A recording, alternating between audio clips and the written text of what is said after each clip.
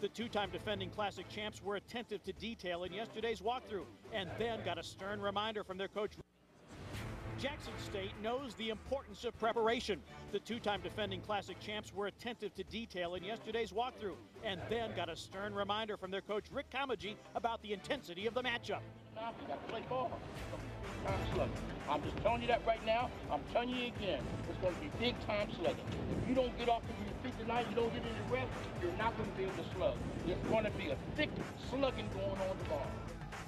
Not to be outdone, Tennessee State's Rod Reed knows full well his alums expect victory. And for him, today's game is all business. Jackson State and Tennessee State, the Southern Heritage Classic starts now.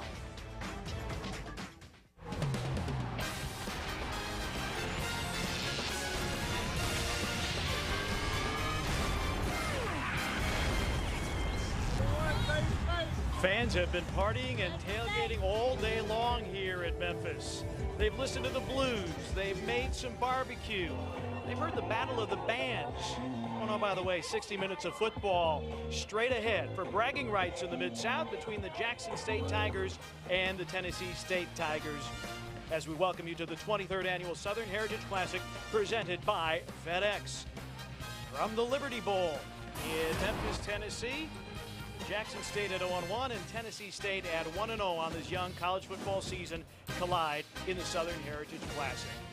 And we welcome you to Liberty Bowl Memorial Stadium. Pete Pranica, Rod Smith on hand. Well, Rod, the last two years we've seen Jackson State win this ball game largely because of the stellar play of their all-star quarterback, Casey Therriault. Well, he's graduated, so Rick Comegy and Jackson State, well, they've had to turn the page, find a new quarterback. They had seven in camp. Dedrick McDonald, however, head and shoulders above the rest. He'll start tonight.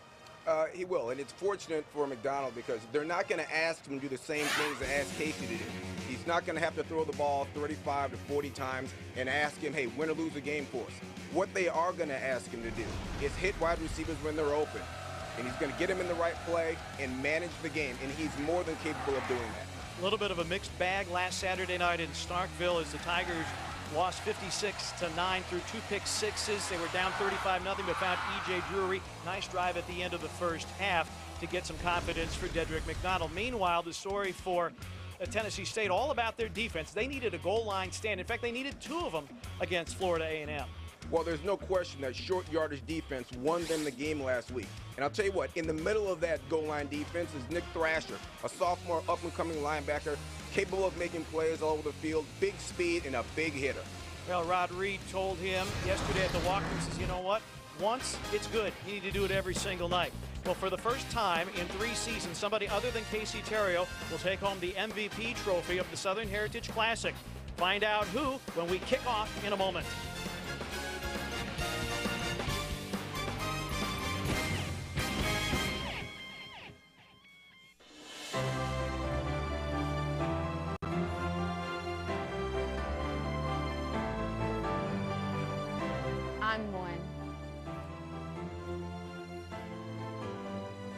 I'm one. We are one. One choice, one community, one family, all united by one university. One Jackson State University. Tennessee State University, celebrating our 100th year. We are rich in history. Our alumni include some of the most recognized and influential people in America. We provide students a wide range of academic programs and scores of different degrees to choose from. TSU is the number one university in the state in graduating academically talented students who become service-oriented leaders in their professions and communities. Our graduates are prepared to succeed and make the world a better place. The only thing missing is you. Tennessee State University, celebrating success. Good job! I'm fired up! You fired up! I'm fired up! You fired up! You fired up! We fired up! You fired up! We fired up! I'm fired up! You fired up! I'm fired up! You fired up! You fired up! And we're all fired up for some college football from the Liberty Bowl. Jackson State and Tennessee State. Jackson State won the toss, deferred to the second half. Tennessee State will receive. And uh, Rod Smith, how about those AutoZone keys to the game for auto parts, accessories, and advice you need? Get in the zone with AutoZone. Well, for Jackson State, I think it's simple. They need to establish the run on offense and stop the run on defense. If they don't win the physical battle, they won't win the battle on the scoreboard either. All right, for Tennessee State, it's critical that they play with some discipline. Last week, they gave up four sacks, fumbled it three times, and had 20. Count them 20 penalties for 178 yards. If they play sloppy football like that today, Jackson State will hang 50 on them. Those the AutoZone keys to the game. That's the freshman Ryan Deesing from Nashville, Tennessee. He kicks it off, and it floats to Weldon Garlington. Garlington with a seam up the middle, dragged down to the 29-yard line, and Tennessee State will start first and 10 from their own 29-yard line. They'll come out with their quarterback, Michael German, a redshirt sophomore from Pompano Beach, Florida. Tennessee State, a winner last Saturday at home in the John Merritt Classic. They needed a couple of goal line stands. They got off to a 17-0 start. Nine minutes remaining in the third quarter and needed a defensive stand or two to salt away the victory as you see the numbers for German. Travis Ward gets the call across the 30 to about the 35-yard line. Travis Ward, redshirt junior from Fort Lauderdale, Florida. He is a powerful runner, and uh, Rod does not lack in self-confidence. No, he doesn't. He's a very confident kid. And you see Coach Reed starting his game plan with a stretch run to the left side where he has those three All-American uh, linemen, the guard, the center, the tackle, all those guys are studs, and they open it up with a, a classic run play. Pickup of five makes it second down and five. Three wide receivers, I tandem. Again, Ward slanting off of right tackle, dragged down at the 38-yard line. And Rod, when we talk about difference makers, obviously Travis Ward is one of them. Along with A.C. Leonard, a transfer from Florida, they think he can do big things out of the tight end position. And on defense, we talked about him in the open, Nick Thrasher. Yeah, Ward's 100, excuse me, 210 pounds.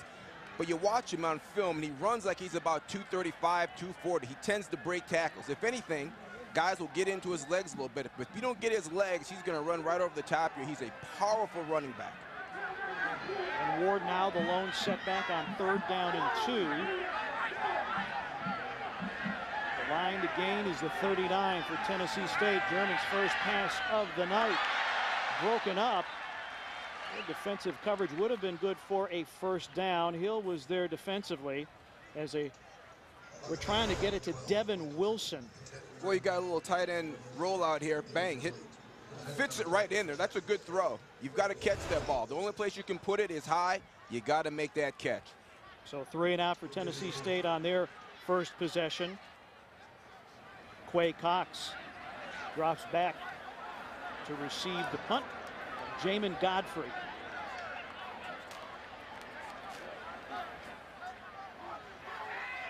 A little bit of wind from the left to the right as you look at it. And the unusual punt formation.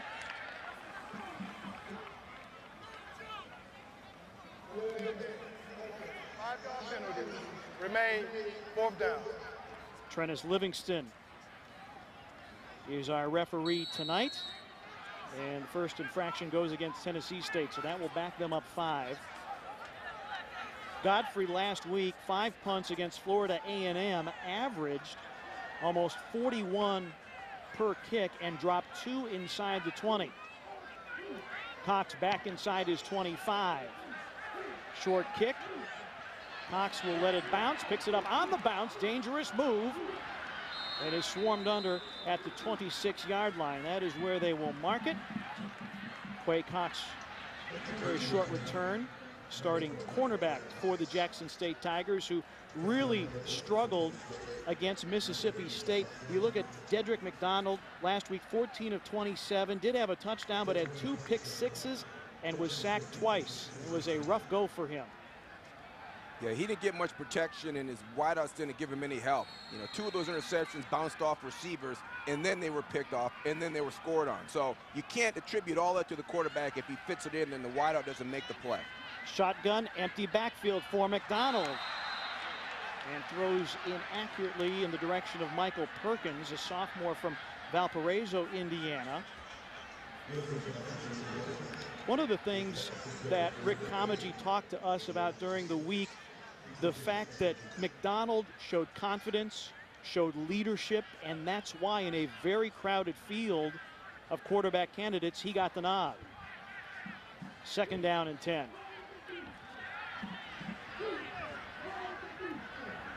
Jackson State will like to spread the field. McDonald sidearm delivery. That one caught, dragged down at the 31 yard line is E.J. Drury. A year ago, Drury was a wide receiver. Now he's a tight end, and he's also one of the different ma difference makers, along with another outstanding receiver, Enrico Richardson, and on, on the defensive side of the ball, Joseph LeBeau. Yeah, LeBeau with, with the 16 sacks last year set a club record. And Drury uh, has a tight end body, but wide receiver type skills, as you can see in that last play. Out of the shotgun, they try to get B.J. Lee working out of the backfield, but nothing doing there as he's dragged down by Daniel Fitzpatrick. Lee, one of the few players for Jackson State under six feet tall, very elusive, but uh, not that time. Daniel Fitzpatrick had that one smelled out very well, and so both teams with a three and out in their initial possession of the ball game. Yeah, Tennessee State on defense up front and in the secondary. They're very, very young. They're all redshirt sophomores or true freshmen. They're young kids, first-time starters, but they run like heck to the ball and they're intelligent. They won't get caught out of position. They didn't get fooled on that draw. Michael Perkins will punt. Punting, special teams, an issue last week, but this is a fantastic punt that drives Weldon Garlington all the way back inside his 20, returns it to the 26-yard line. Well, both teams, one offensive possession, no first down so far. Early first quarter at the Liberty Bowl. Back in a moment.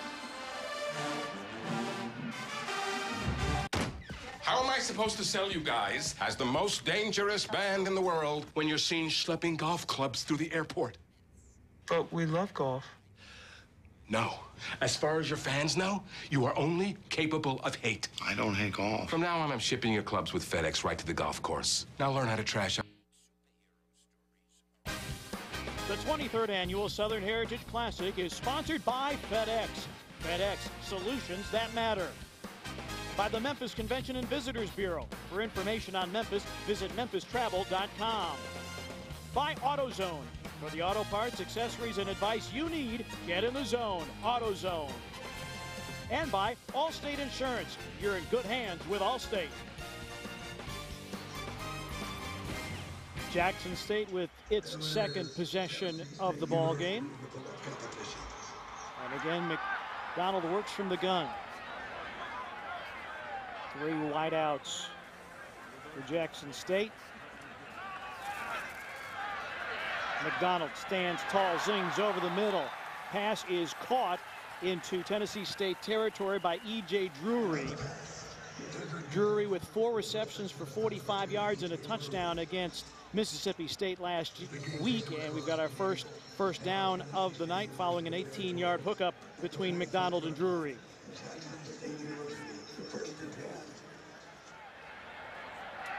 Ball spotted officially on the 45-yard line. Four wideouts from McDonald in the gun. And that one underthrown. Coverage by David Van Dyke, intended for Tobias Singleton. Well, you see a little bit of wrinkle in Jackson State offense already. They complete the first ball, which was a great job by McDonald because the crosser was wide open, but he waited and thought, I can get that deeper route. Bang, he slides it in there to number two for the first down. Then they rush to the line of scrimmage quickly. Don't give the defense a chance to get set. It's a wrinkle. Trying to work a no huddle. That last pass intended for Tobias Singleton. He's a transfer from Ole Miss. They feel he can be a difference maker. And one of the things that was an issue as a handoff on the delay, B.J. Lee. Lee, big hole, rumbles past the 30 and is marked down at the 28-yard line. And Jackson State again hurrying to the line of scrimmage following a 17-yard dash by B.J. Lee. Yeah, just an inside trap jaw. You got a little B.J. Lee in there at five foot seven. How are you going to find him? Bang, first down. But one of the issues against Mississippi State, they didn't really spread the ball around to their playmakers, and Jackson State has some quality playmakers. That one caught at the 20-yard line. Rico Richardson making his presence felt. Set a high with seven receptions last weekend against the Bulldogs. Just a mini five-stepper, little curl out. And I'll tell you what about Richardson. Richardson, yeah, a little curl outside. Richardson's got big time speed. He's a 4-4-4-3 guy. Seven catches for 93 against Mississippi State. They could not cover. Stephen Godbolt with the coverage, pickup of nine.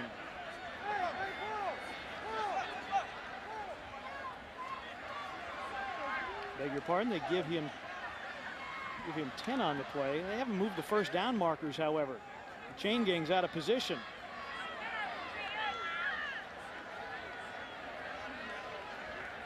And they will wave the chain crew into position.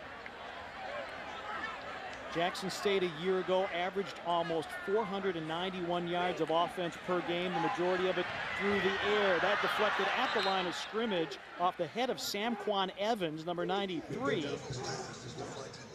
Evans was a key figure rod in both of those goal line stands last week against Florida A&M. Well, here we have the same route that they ran to start this drive, a gain of 25 yards. But both receivers make a mistake. It's a mental error. There's one guy supposed to run the deep dig. Instead, they both run crossers and bump into each other. And Antonio Harper actually got a hand on McDonald's arm. Second down and 10. Lee, nice change of direction, but can't slip away from Nick Thrasher, who led Tennessee State with 11 stops last weekend against the Rattlers. Yeah, Thrasher makes a nice play there on the blitz. I told you he's got big time speed. He makes a lot of plays all the way to the numbers from that middle linebacker position. He's impressive. Pickup of just one, making it third down and nine.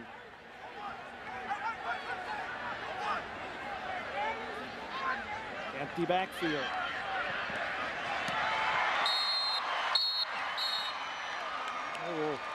Rule that an incompletion intended for Rico Richardson. Well, I'll tell you what. We go no, nobody in the backfield. Richardson, does he make the grab here?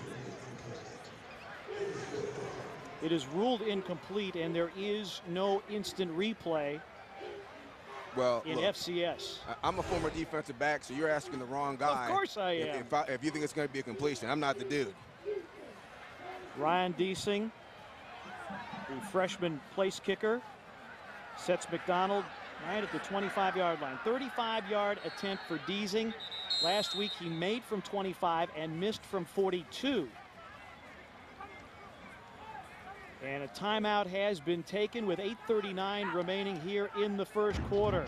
Richardson couldn't reel it in. Deesing will try for three when we come back. Your car is everything. Jackson State has moved it 46 yards in seven plays.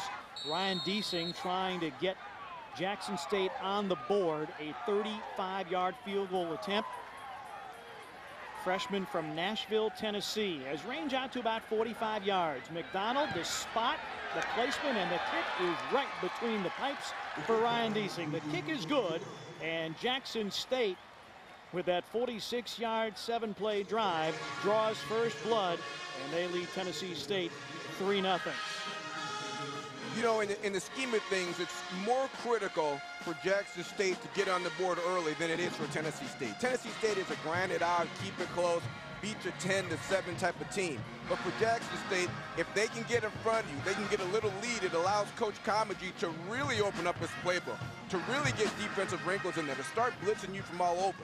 It, it allows Jackson State to play more aggressively when they get the lead early. Jackson State took that last time out because the play clock was about to expire. And also, I think that's important for Deesing's confidence because he shanked the PAT last week, missed one field goal, made a 25-yarder. I think that's big for the freshman because these games, in fact, six of the last seven have been one-possession ball games. You're going to need your kicker. Now, I know as a former DB, you don't you don't like kickers necessarily, but I, I don't mind kickers. I don't mind kickers so much. Yeah, he, he, made that one. You're 100% right. It's good for his confidence. You know, get your kicker going early, give him a little chip shot, and uh, you know, hopefully late in the game he can come through again.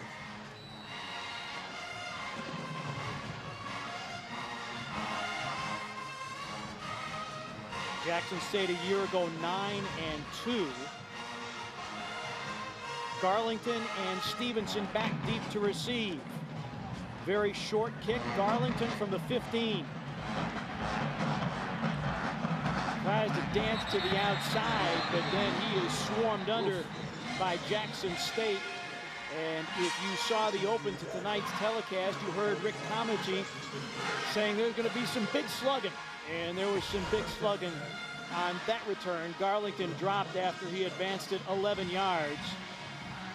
Ball spotted at the 26. Yeah, you're going to want to commit to what direction you want to go on that kickoff return and stay committed. If you start dancing around back there, you run the risk of having three guys lying on your chest, and it's not a good feeling.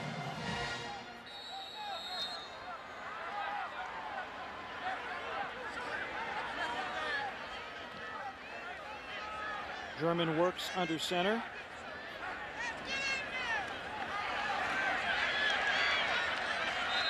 Travis Ward picks up a couple. Both of these coaches are smash mouth coaches. I mean, Rick Comegy, maybe a little bit more offensive minded, but both of these guys, this is back alley, button your chin strap. I'm going to butt you in the mouth and hit you as hard as I can. That's how they that's how they coach football.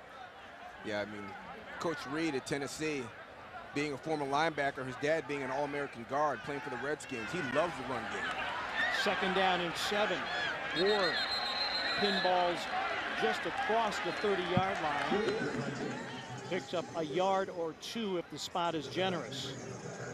We talked about Travis Ward and, and wanting to set the all-time single-season record in rushing at Tennessee State. Now, Charles Anthony set the record in 2004, 1,739 yards, and Ward believes he has a crack at it because he racked up 978 last year, but he missed two-plus games because of injury. And he's going to get a lot of more, a lot more touches this year because he doesn't have to split time. Third down and five. German pocket breaks up over the middle, intended for A.C. Leonard, the transfer from Florida. And glove-like coverage breaks it up, and Tennessee State still looking for a first down. I mean, what more can you do as a quarterback? You're on the move, you avoid the pressure, moving to your right, throw across your body, and deliver it right on the money.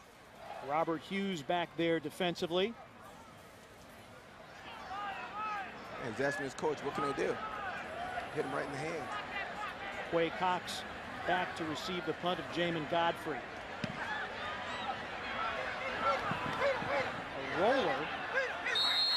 And this is going to be marked down at the 30-yard line. So uh, Godfrey, the last couple times, has gone with that rugby punt, which seems to be all the rage these days. I'm not sure Rod Reed is terribly impressed with it, although it did go for 39 yards.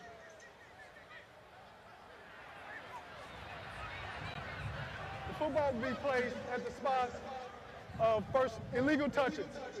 First and 10, Jackson State. They're going to move it up to the 36-yard line because that is, is where it was first touched by Tennessee State. So make it a 33-yard punt.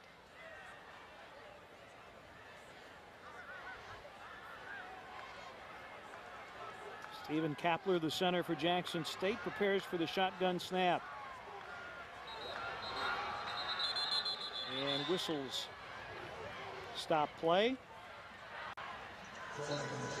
False starts on the offense, 83. Five-yard penalty, remain first down.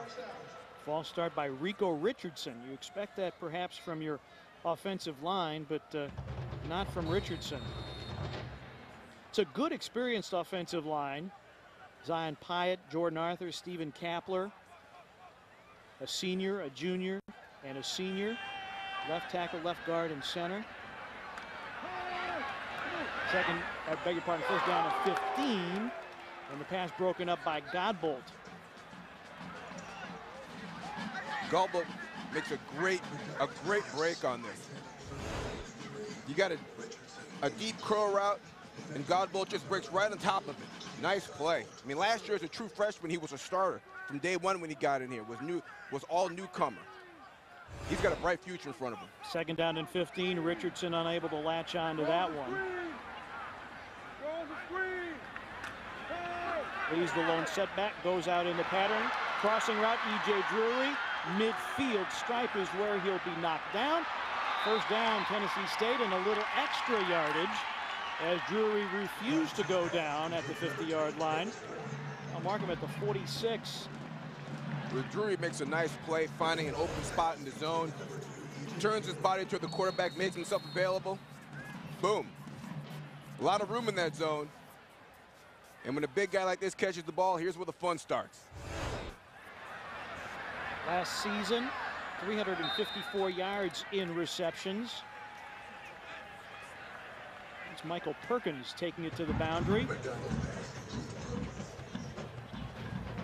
And I'll tell you something else I saw about this quarterback McDonald last week. As bad as it got in that game against uh, MSU, you watch him in the fourth quarter, his feet were not happy. He still stood in the pocket, took his licking, and delivered the ball. He's got mental toughness. Second down and five. Option pitch. B.J. Lee trying to get the edge. And a good job done by Gregory Barksdale, number 10, a redshirt junior out of University Park, Illinois. Played a couple seasons for Northern Illinois before transferring. And stops B.J. Lee for no gain to make it third down and five. And we do have a, ten, a Jackson State. I thought one of the offensive linemen was down on his knees, perhaps injured, but not the case. Five and a half remaining in the first quarter.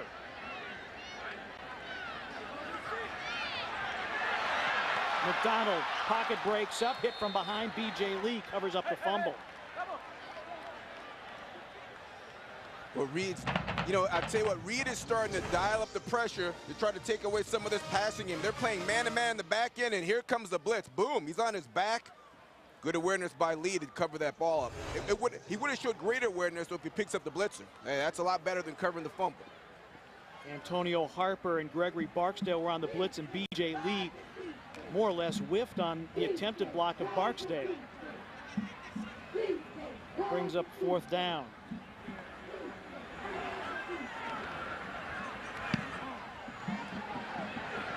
Goal rolling punt. This may work out very well. that is a dangerous play. as Garlington dives on it at the six yard line. It was not a thing of beauty for Michael Perkins, but it was very effective. 44 yards, and 44 yards, and so Perkins, a 52-yarder and a 44-yarder in his first two attempts of the night after averaging just 31 yards in five punts with a block against Mississippi State. 3-0 Jackson State the lead here. You do not touch the ball inside the 10-yard line, right? Ever, under any circumstances. Plant your heels on the 10, and if it's over your head or going to oh. get by you, you just let it go. Oh, so dangerous. Long field for Michael German and the Tennessee State Tigers. Travis Ward trying to pick his way. Give him a pickup of three on the play. Jonathan Phillips making the tackle. I'll tell you what, Coach Rod Reed is sending a message on that last snap, okay? Jackson State had nine guys inside the box, man-to-man -man on the outside, no safeties, and Rod Reed ran the ball at them anyway. Well, that's because the entire left side of that offensive line for Tennessee State has drawn the interest of NFL scouts. And Ward with a, another short gain as Joseph LeBeau shows us his guns. He's worked very hard to remake his body in the offseason. Outstanding game against Mississippi State. And that'll bring up third down and five for Tennessee State. Yeah, LeBeau lost some weight. He looks great. He reminds me of uh, James Harrison for the Steelers. You know, he's a guy that can play in space, but God, he's a monster when he's rushing the passer. 16 sacks last year, he's a beast. Four wideouts, single back set, out of the shotgun. German, good solid pocket. Ward has it, has first down yardage across the 20 to the 23-yard line. Travis Ward doing it all for Tennessee State at the moment. Last season, he made 12 receptions for 144 yards and slips out of the backfield to give Tennessee State the first down on a 13-yard pickup. Good move by Ward. He realized there's no blitzer on that side. It's man-man coverage. Makes himself available in the route. Move the chains. German with an audible. Four wideouts.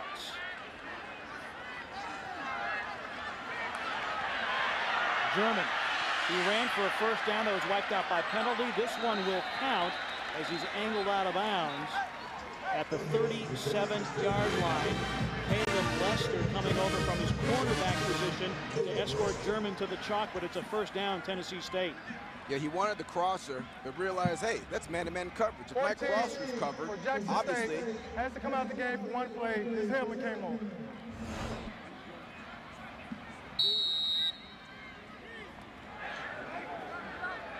Joseph LeBeau to come out of the game for a play. You lose your helmet on a play. It's a rule that you must sit out a play, and that was announced on the public address system by our referee, Trinus Livingston. First down and 10 from the 37. Ward slicing through. Close to first down yardage, but I think they'll mark him a yard short. Pickup of nine for Ward. just your basic stretch play to the right. Get a hat on a hat, offensive lineman. Back gets to pick his hole. He's got a big lineman on in front of him. Travis Ward says, I'm going right past him. I'll get this first myself. Second down and one now. Tennessee State putting together a good drive, which started inside its own 10-yard line. Hey, Pete, do you take a shot here at midfield? Put it in the air, second and short? Why not? German. Ward out of the backfield into Jackson State territory. First down, Tennessee State, and it's become the Travis Ward show as he carries to the 43-yard line, dragged down by Cameron Loeffler. And did you watch Travis at the end of this play? Get low, get his head down, and drive his helmet forward. I'll tell you what, he hit you a couple times with that shot, and it gets old real fast. Now Ward will carry around the right side, inside the 40 to the 39-yard line, and Loeffler is there again to greet him. One of the things about Michael German that we were told during the week is Rod Reed almost has to put the, put the reins on him because he thinks he can make every play, make every throw. So between him and, and Travis Ward, there is no shortage of confidence on the offensive side of the football for Tennessee State. No, there's no, there's no lack of confidence there. First timeout, you, Jackson State. It will be a 30-second timeout.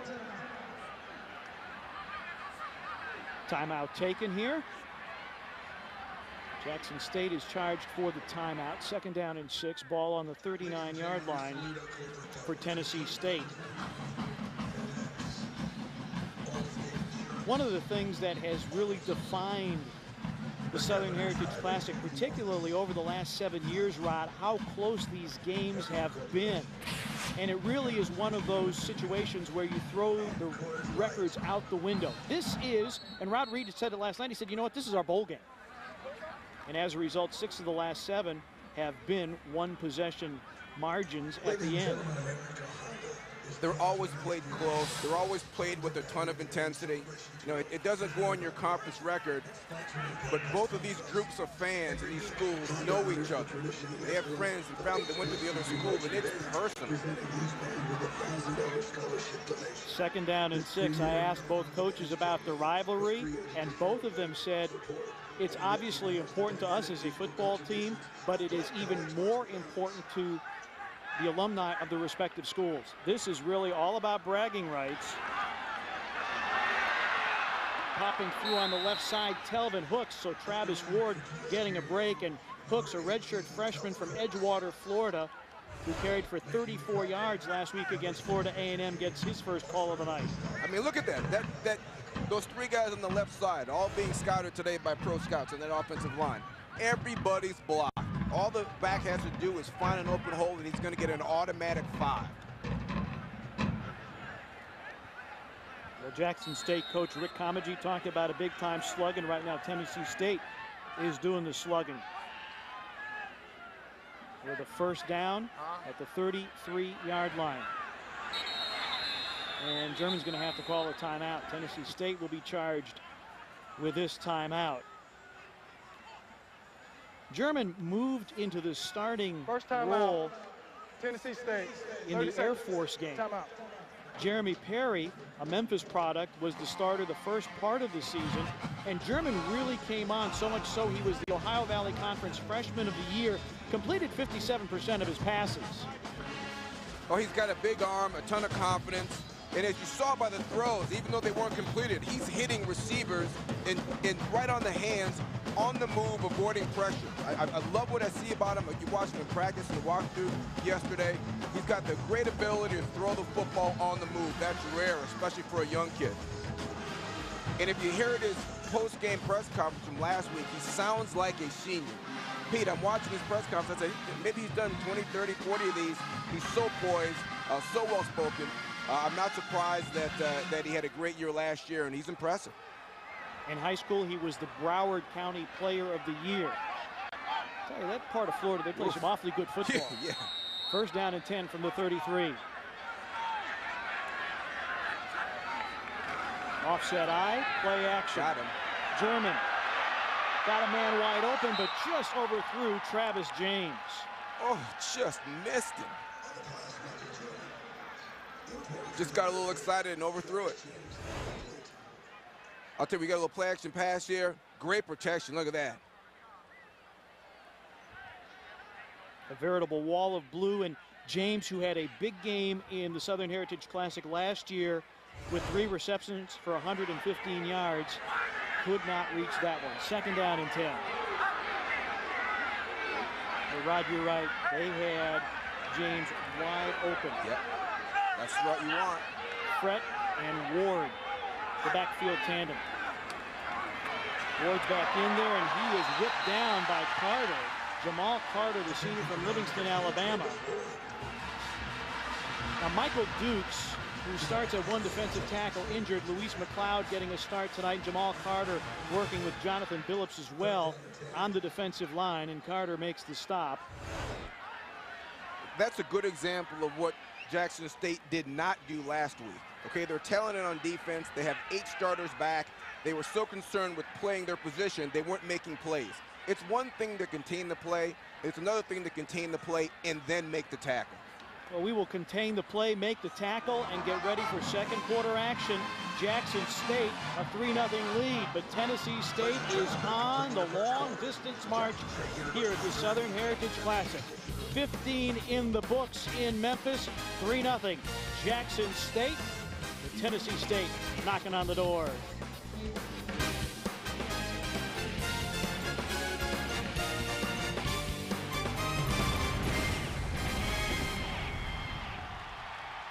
I'm a hot bed.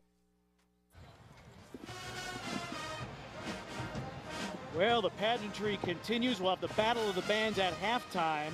Jackson State a 3-0 lead after one quarter, but Tennessee State currently on a 10-play, 61-yard march that has chewed up four and a half minutes.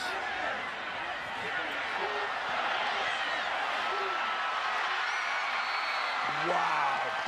Down at the one-yard line, Vernon Fret. They do not use, Tennessee State, they do not use their fullbacks as rushers, but as receivers, yes, they do. Great play by your quarterback. Bang, seven-step drop and a rollout. It's a dash. And just hits a man on the move. The best part about the play is German avoiding the rush. The move to his right, make a guy miss. Get out of my way. First and goal. Ward stacked up.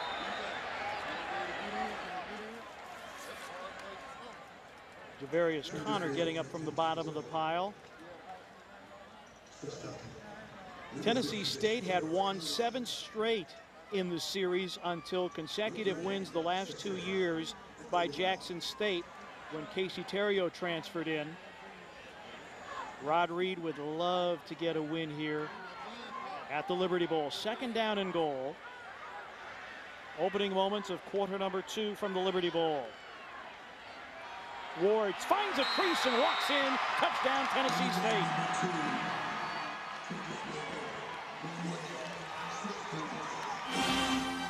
Ward had a rushing touchdown and 124 yards last Saturday against Florida A&M, and he puts Tennessee State on top. A good crease over the right side of that offensive line. Demetrius Rainey and Robert Myers, Sherman Carter, the center, paving the way. Yeah, great job by Ward. I believe that was a misdirection handoff, and he was supposed to take that ball across the center to the left. He made the little hop step. He didn't see anything over there. He goes back to the right touchdown. Godfrey's PAT is true. And how about this? A 94-yard drive, 13 plays, 5 minutes, 38 seconds. And Rod, this drive did not get off to the very best start because Garlington misplayed that punt and forced them to go the long field. But Tennessee State and Travis Ward equal to the task, a 7-3 lead for TSU.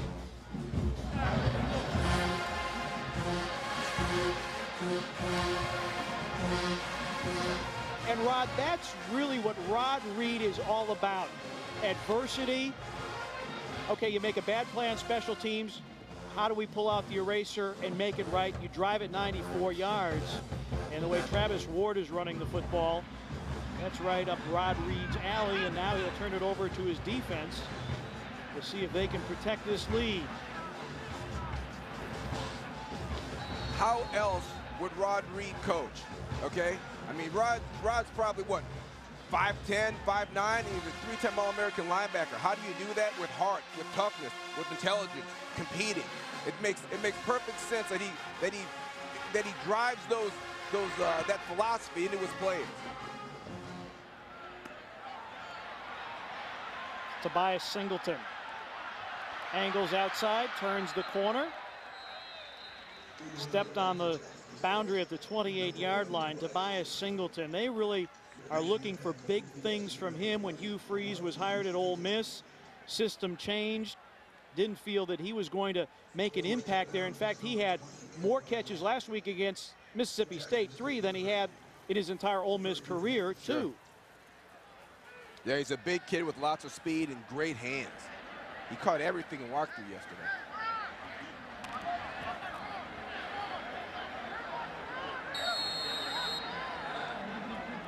So McDonald will work from the shotgun following a 23-yard return by Tobias Singleton.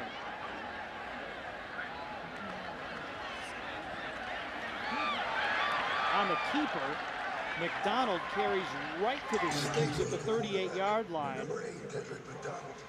And this is something that was very different we saw in walkthrough yesterday. The fact that Jackson State showed an option look, also showed a shovel pass as well as things that they really didn't do under Casey Therriault's tenure at quarterback, but McDonald able to make a play with his feet and carry for 10 and a first down. Tommy Gooden, last year's leading rusher, bounced the football off the carpet, gathers it back in and goes out at the 40-yard line. Stephen Godbolt with the push out on the boundary. That was one thing that Jackson really struggled with. Butterfingers. They had, I think, 21 fumbles last year. Well, fortunately for them, they also had about 5,600 yards of total offense. You know, and Casey just tearing it up. Yeah, you talk about an eraser, the fact that Casey Therriault Oh. could just throw the ball up and down the field. B.J. Lee does not take the handoff. It's kept by McDonald. So now all of a sudden we see the option look as McDonald carries. That'll bring up third down. And one thing that Rick Comegy said, we were down 35 nothing to state. We couldn't open up the package. Now they're starting to open up the offensive package. No question. And, and that last play was the first on this drive where McDonald made a bad read. He should have given it to the back on that play. But the first two runs have been brilliant reads by the quarterback. Lee wanted it. Stays in the block. And McDonald gets rid of it. Pressure being applied by Anthony Bass. He's very close to grounding. He was within the tackle box and Well, well, you got to get a hand on him, right? I mean, you can't give him a free release to your quarterback. You got to bump him. You don't have to block him, but just bump him, break his path. You can't let him just run straight to your quarterback. Zion Pyatt, the left tackle, was the closest guy to that pass, and McDonald's going to gather himself. A swing and a miss. Swing and a big miss. Garlington and Ryan Berry back deep to receive the punt of Michael Perkins, who has punted the ball very, very well.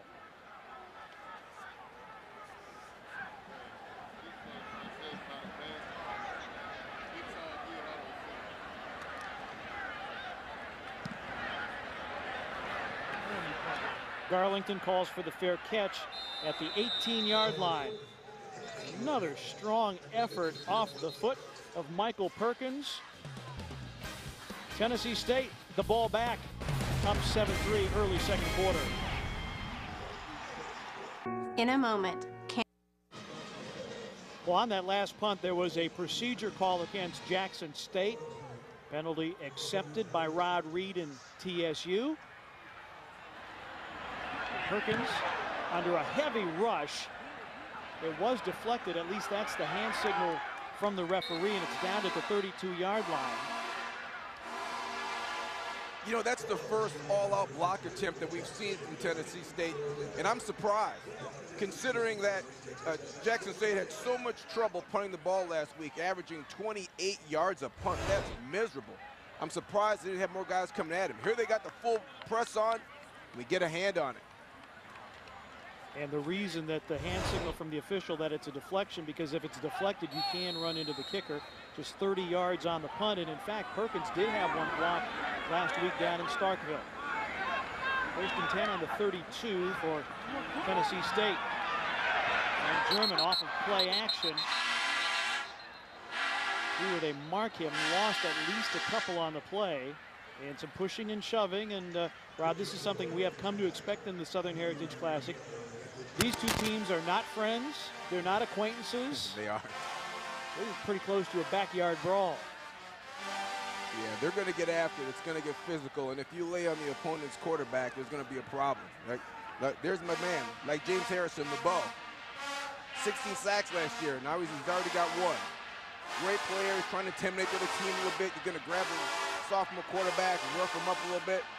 Tennessee State's not having that. There's going to be some pushing and shoving you can count on. 75 tackles a year ago, and was there a penalty on the play? I did not see yellow on the field. Rod, Rod Reed may be upset that uh, his quarterback's getting uh, taking some shots into the pile there. Kindergarten whistle on the play. By rule, coach elected to replay the down. First down.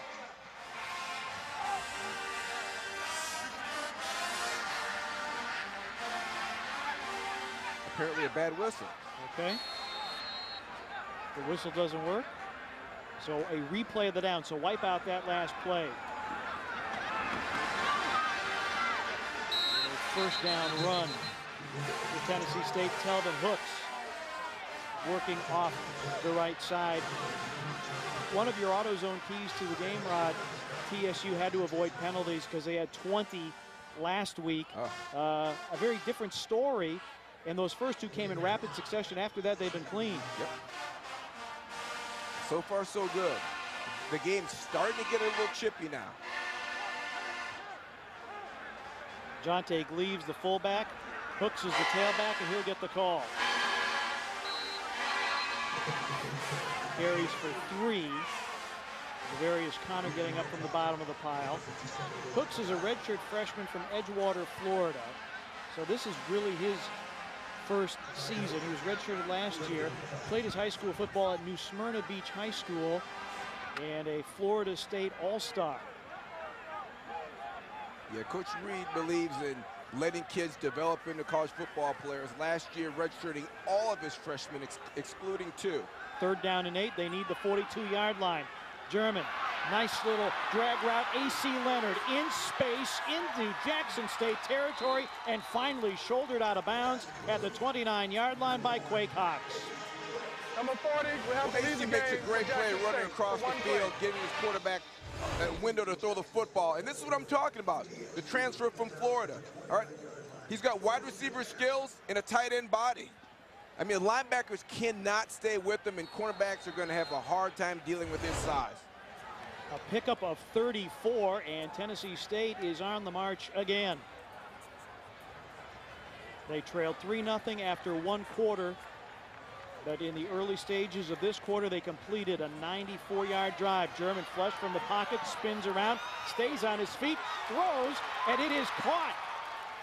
Hooks Nasty. able to hook onto it Oh. and take it to the 22-yard line. Cameron Loeffler with the tackle. Oh, that is nasty.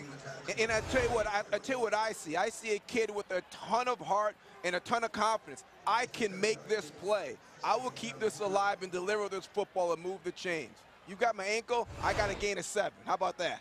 That's exactly what Rod Reed told us earlier in the week. He said, I have to rein this kid in because he thinks he can make every play and every throw. That may be one of the more unusual throws and completions you'll ever see, in a flag comes down, and I think we're going to have a false start on Tennessee State. Prior to the snap, false start, 81, offense, five-yard penalty, remain second down. Joe Bowens, the true freshman from Greenville, South Carolina. Yeah, if you're making penalties as a true freshman, you can find a permanent spot on the bench real quick with Reed, I promise you. Pre-snap penalties. Pre-snap penalties were a problem for them a year ago in this game. Second down and eight. Hooks lone setback. Big gaping hole up the middle. Runs into the umpire and takes it down to the 11-yard line for a Tennessee State first down. Mike Hill the tackle. I'll tell you what, referee, you better put on the white jersey and helmet or get out of the way. Here comes Tennessee State's run game right up the middle. Look out! And he's down. Is he okay? He looks all right. Is he all right? You good? All right. Paul Myers got run over. 16-yard pickup. And bouncing to the outside and nearly taking it to the pylon. Well, I tell you what, Telvin Hooks has really showed well. Everybody wants to talk about Travis Ward, but now Hooks has made his presence felt. Yeah, he's got the hot hand. He's got the hot hand. He, he's seeing that stretch run play. And folks, they're running two plays. Stretch left, stretch right. That's it. It's not complicated. Hooks, the lone setback on second down. Cuts back and then is dragged down by Jamal Carter.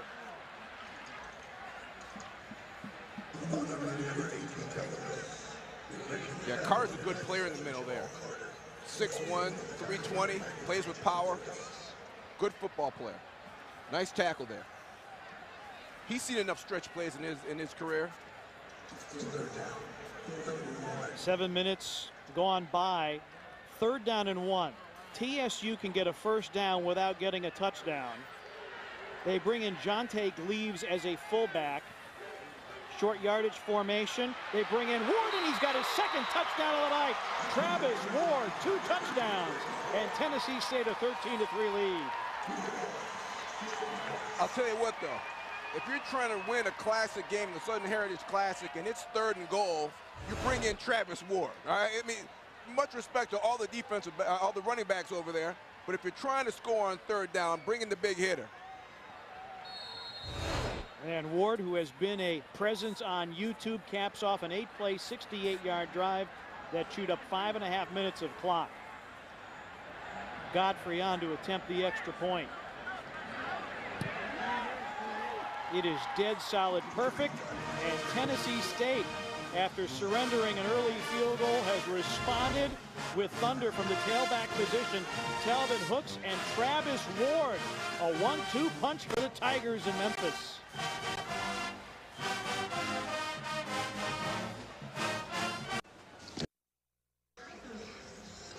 I'll tell you what, Travis Ward putting together a very, very nice game for himself, capping off two strong drives by the Tennessee State Tigers to take a 14 to 3 lead.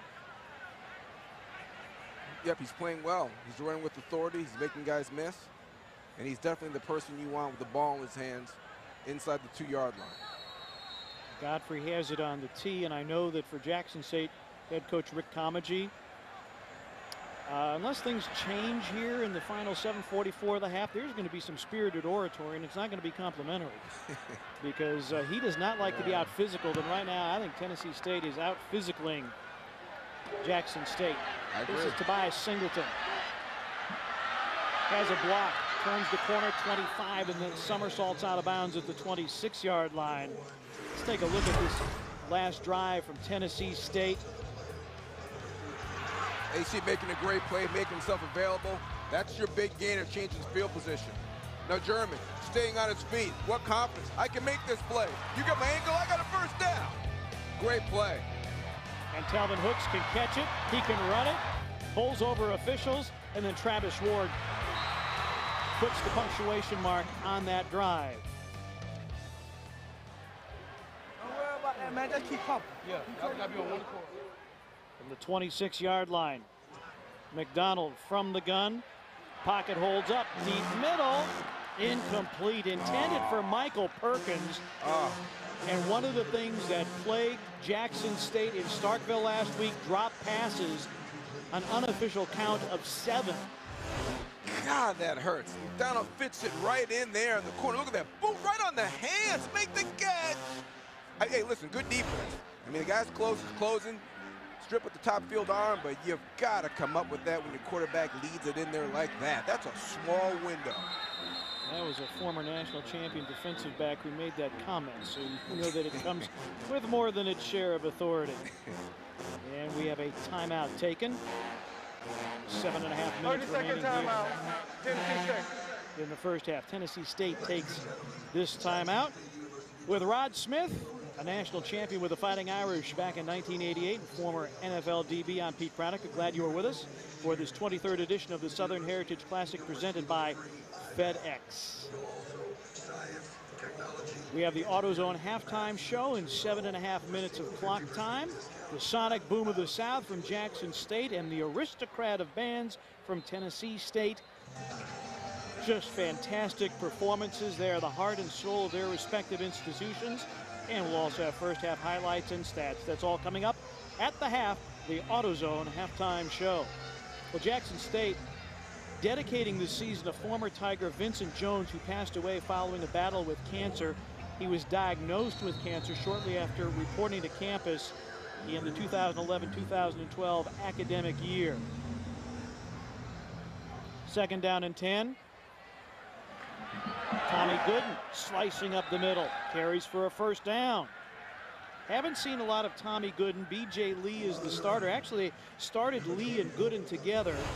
Antonio Harper and Jack Indem That's with the, the stop. That's the nice read by McDonald to give the ball to the to the fullback or tailback in that situation. And Gooden runs with authority. I, I really like him as a running back. He knocks people down. Option pitch. This is B.J. Lee going to the outside, and he gets his world, rocked by Antonio Harper.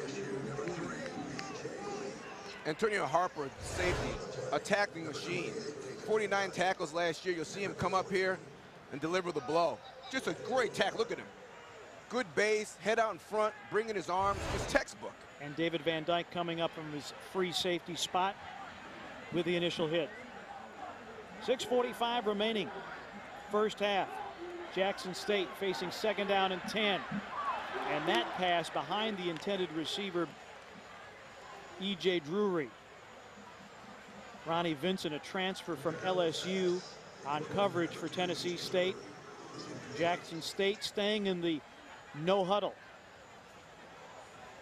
And Tennessee State now making its defensive substitutions, adding an extra defensive back. Third down and 10.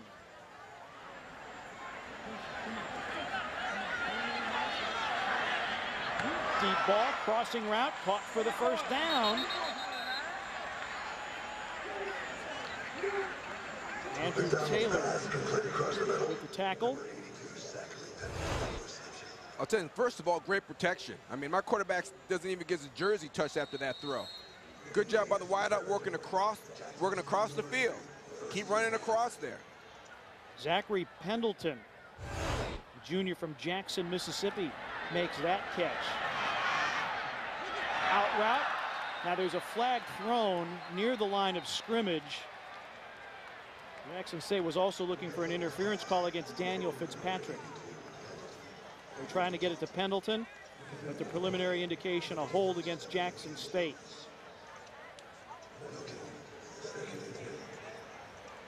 Holding, offense 71, 10-yard penalty, replay, first down. Zion Pyatt, the senior from Baltimore, Maryland. He was second team All SWAC a year ago. And the walk-off puts the ball back in Jackson State's end at their own 42-yard line. First and 20.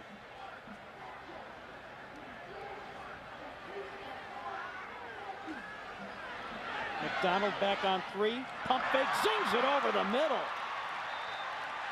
And a catch by Rico Richardson, and that ball from Dedrick McDonald was thrown on a rope. Stephen Godbolt the tackle, but Richardson with the completion about a yard shy of first down yardage at the 39 yard line. Richardson with the big time catch on the slant, and you can see his speed. He accelerates across there like nobody else. Oh, bobbled snap, balls out. Did McDonald get it back? I don't think he did.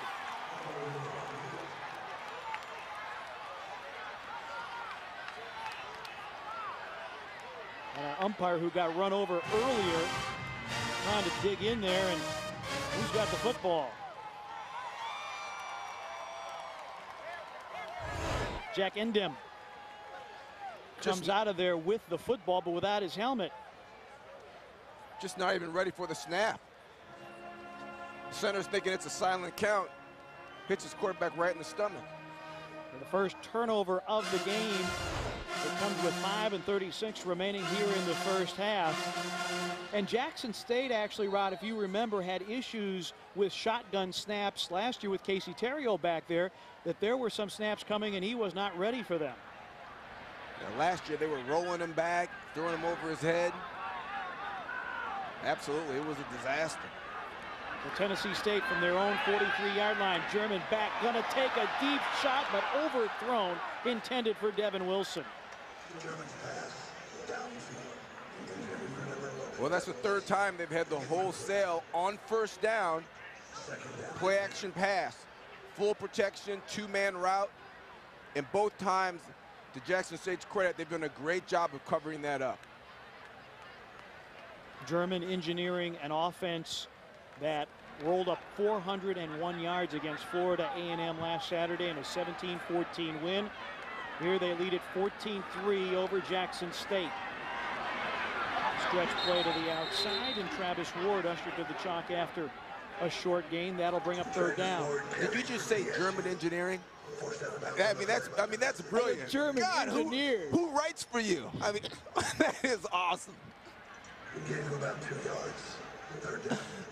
That was that was not a design play. I just made the best of a broken play right there. Third down and eight. Uh, a beautiful night for football. The three previous days here in Memphis, hot, humid, big thunderstorms at the end of the day, but they have all cleared out. Incomplete. German trying to buy some time. Trying to get it to Jeremy Pryor, the native son, redshirt junior out of Memphis.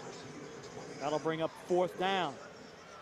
So It's a good play by that corner out there, recognizing the back going to the flat, which means if the wide receiver is working inside the numbers, he's probably going to run an inside route, jumps the curl, makes the play. That's good defense.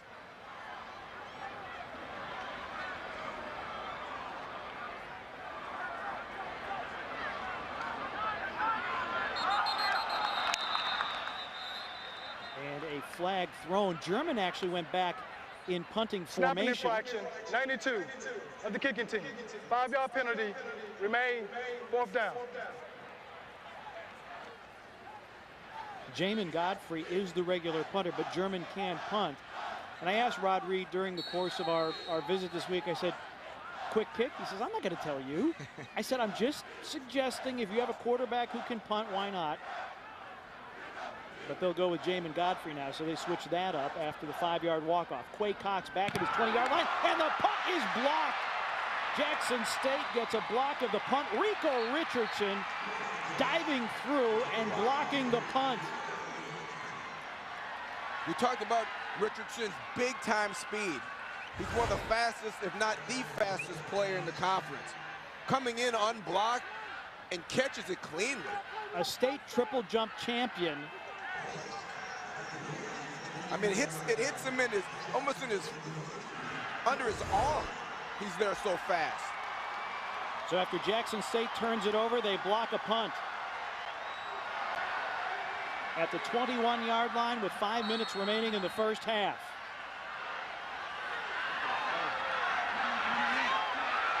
Floats for the end zone intended for Singleton. But a flag thrown. This will be pass interference, presumably on Tennessee State.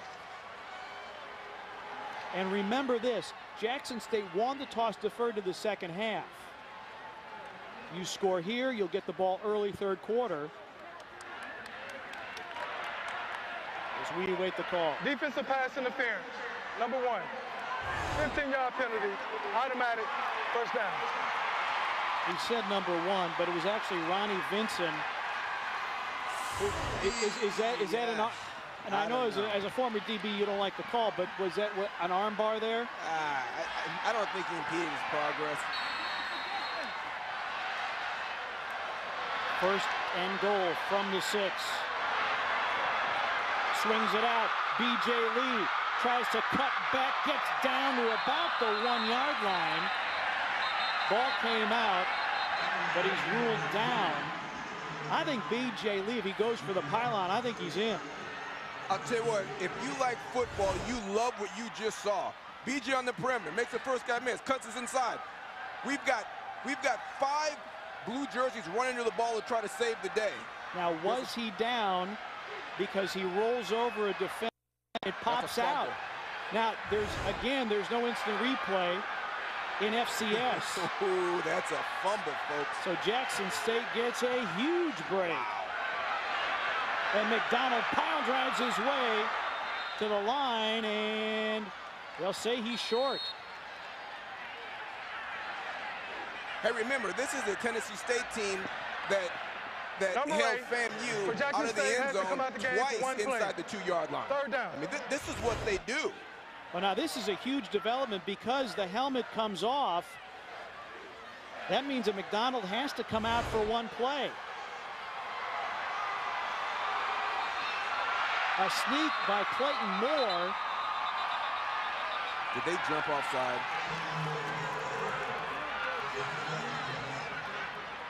Jackson State signaling touchdown. There's a flag. Let's get the call. Ball starts. Offense. 55. Five-yard penalty. Remain. Third down. Jonathan Smith guilty of the infraction. Clayton Moore is a junior from Louisville, Kentucky, transferred from Akron, and he's in there. If not for the yellow on the field, it's a touchdown. So McDonald, after the one game, after the one play, I should say, on the bench because of losing his helmet. Third down and goal from the six. Lee, the lone setback, four wideouts. McDonald trying to throw a fade. The Jackson State receivers, E.J. Drury among them, complaining. But no flag. And Drury most certainly was held and spun around, in fact. He has a case. Yeah, he was held. That's interference. But wow, that fumble call. whew. At least look at three out of it. So Deasing, who connected earlier from 35, will try from 23.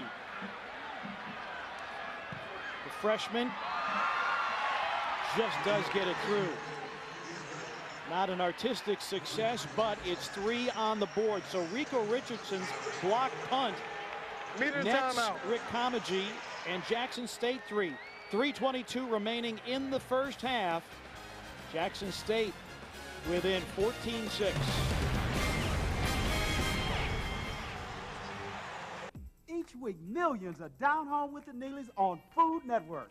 But to really get a flavor, you need to get on down to our hometown and see what's cooking in Memphis. You better get ready. There's something for every taste here in the Bluff City. We're serving up one-of-a-kind sights and world-famous sounds. And mouth-watering smells. Mmm. So what are you waiting for, people? Put your troubles on the back burner and come see what's cooking.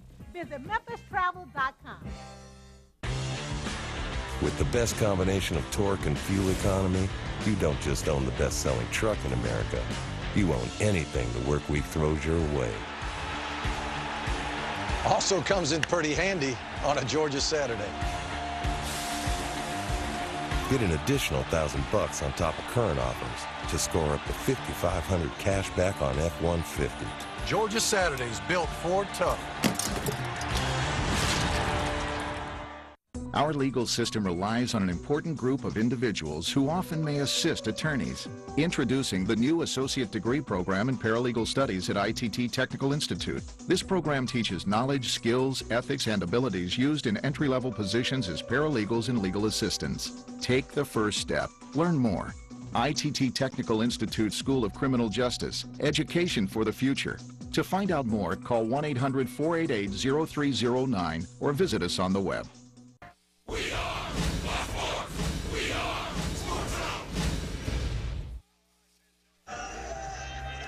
after a slow start at the Liberty Bowl, both teams have uh, gotten their offensive acts together. Tennessee State with a couple of long scoring drives capped off by Travis Ward touchdowns.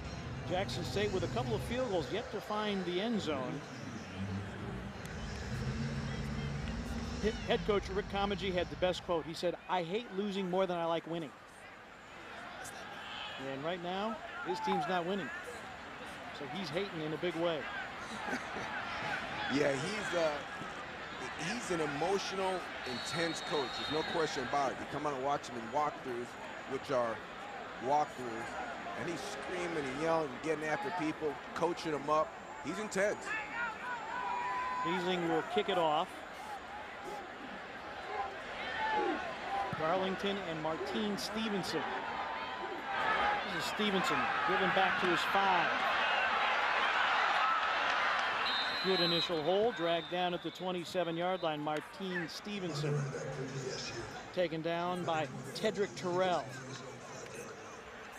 Well, this is TSU's 23rd appearance in the Southern Heritage Classic. They have faced Jackson State in this Classic 20 times. They have won 11 of those.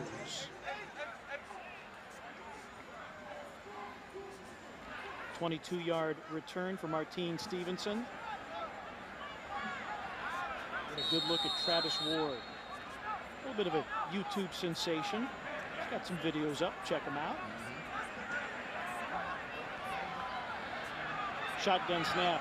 German. Wow, over the middle. Between defenders, Devin Wilson latches on for a TSU first down.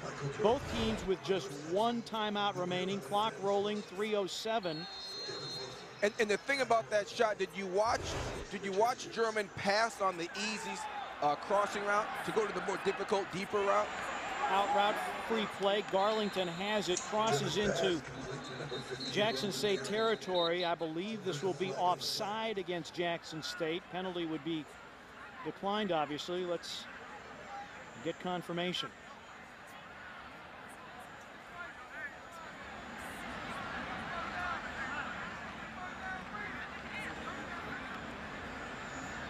Offsides on the defense, 56.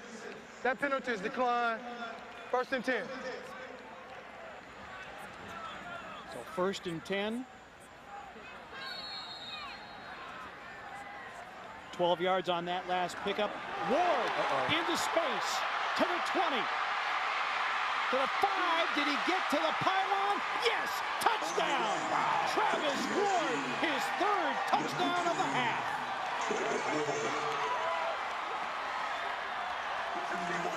Travis is tearing it up. But kudos to that offensive line at Tennessee State. They are opening gaping holes. And it's the same thing. It's just stretch right. Nobody touches his jersey until he's on the 10-yard line. 49 yards. Richard Hughes tried to drag him down from behind. So after Jackson State got a blocked punt, had to settle for three, a three-play, 72-yard drive in 32 seconds. Godfrey's PAT. Perfect.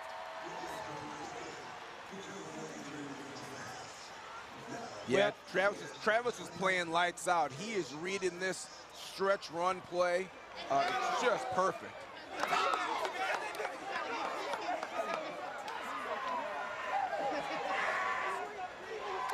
Yeah, they should be fired up. They should be excited because right now they are kicking butts. They're kicking butts. It is the same play, folks. 36 left, 37 right. Every high school in the nation runs it, okay? They are just simply out-manning, out-muscling beating up the defensive linemen of Jackson State. It is simply a man-on-man -man football game when you're running the stretch run play. And a lot of desire by Ward there to get to the end zone. Now, we understand, Rod Smith, that we had the AutoZone keys to the game that you thought up. All my people at home, I do it for Lauderdale, baby. I love y'all. That's real, though. And we love you, too. Well, thank you very much. But Rod Reed said the key, we have to control the line of scrimmage and sustain drives. Uh, mission accomplished. I mean, they are just flat whipping the front seven uh, at Jackson State. Um, I don't know if you need to bring somebody else into the box or start blitzing, but something's got to change. Kickoff to Singleton from the four. Tobias Singleton straight ahead, not much there, wrestled down just shy of the 20-yard line.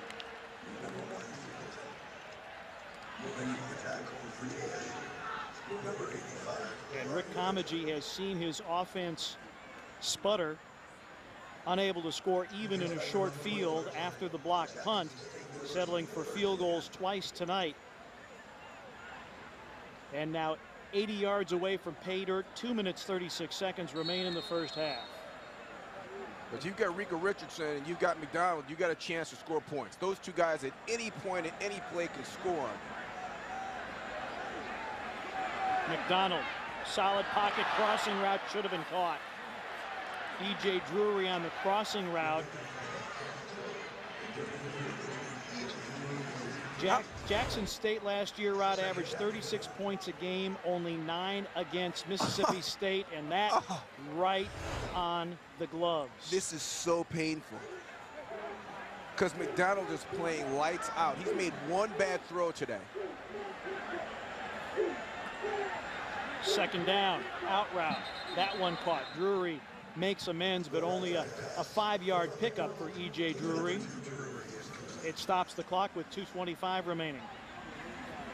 I mean, you watch McDonald, the quarterback, stand in the pocket, plant his right foot, balls over his right shoulder. I mean, his technique is fantastic. And there's what I like about there's no there's no flinching or falling back. He's throwing off his back foot, doing one of those deals. McDonald, Drury again, first down to the 33-yard line. The only touchdown that Jackson State, as Nick Thrasher makes the stop, the only touchdown that J-State got last week, it was an end of first half 93-yard drive. And McDonald connecting with Drury for the only touchdown that Jackson was able to score. Which was pass interference.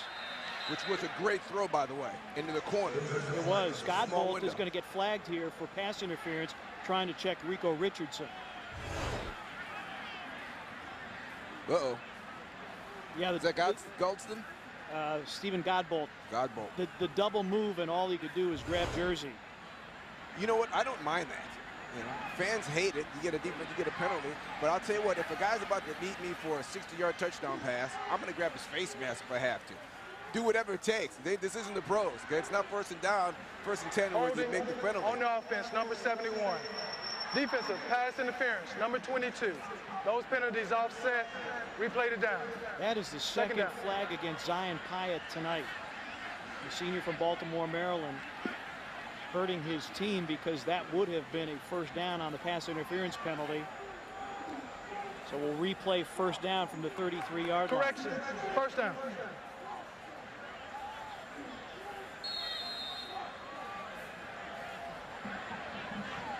AutoZone halftime show coming up, including the Battle of the Bands, first half stats and highlights. Out route, nice catch. And spun around is Zachary Pendleton. Second catch by Pendleton. Does not appear on the Jackson State too deep, but getting some run tonight. You ask any pro scout, they will tell you the toughest route to throw is the deep outcut. McDonald made it look easy. Threw it from the opposite hash all the way out to the sideline, 15 yards deep. Zipped it in there. Boom. Sticks set. Clock winds. A minute 40. First down at the 45 for Jackson State.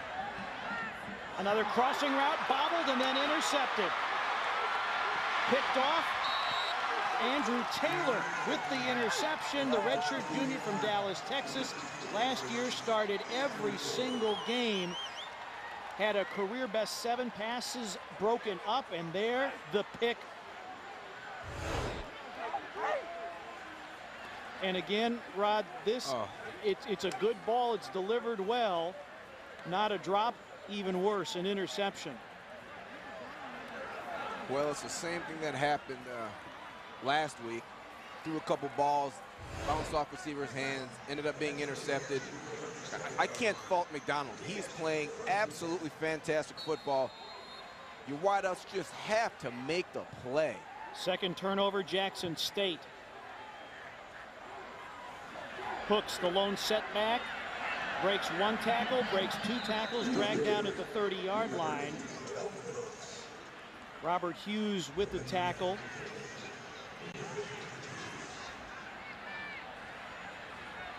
Here's Richard Hughes making the tackle. Decatur, Georgia.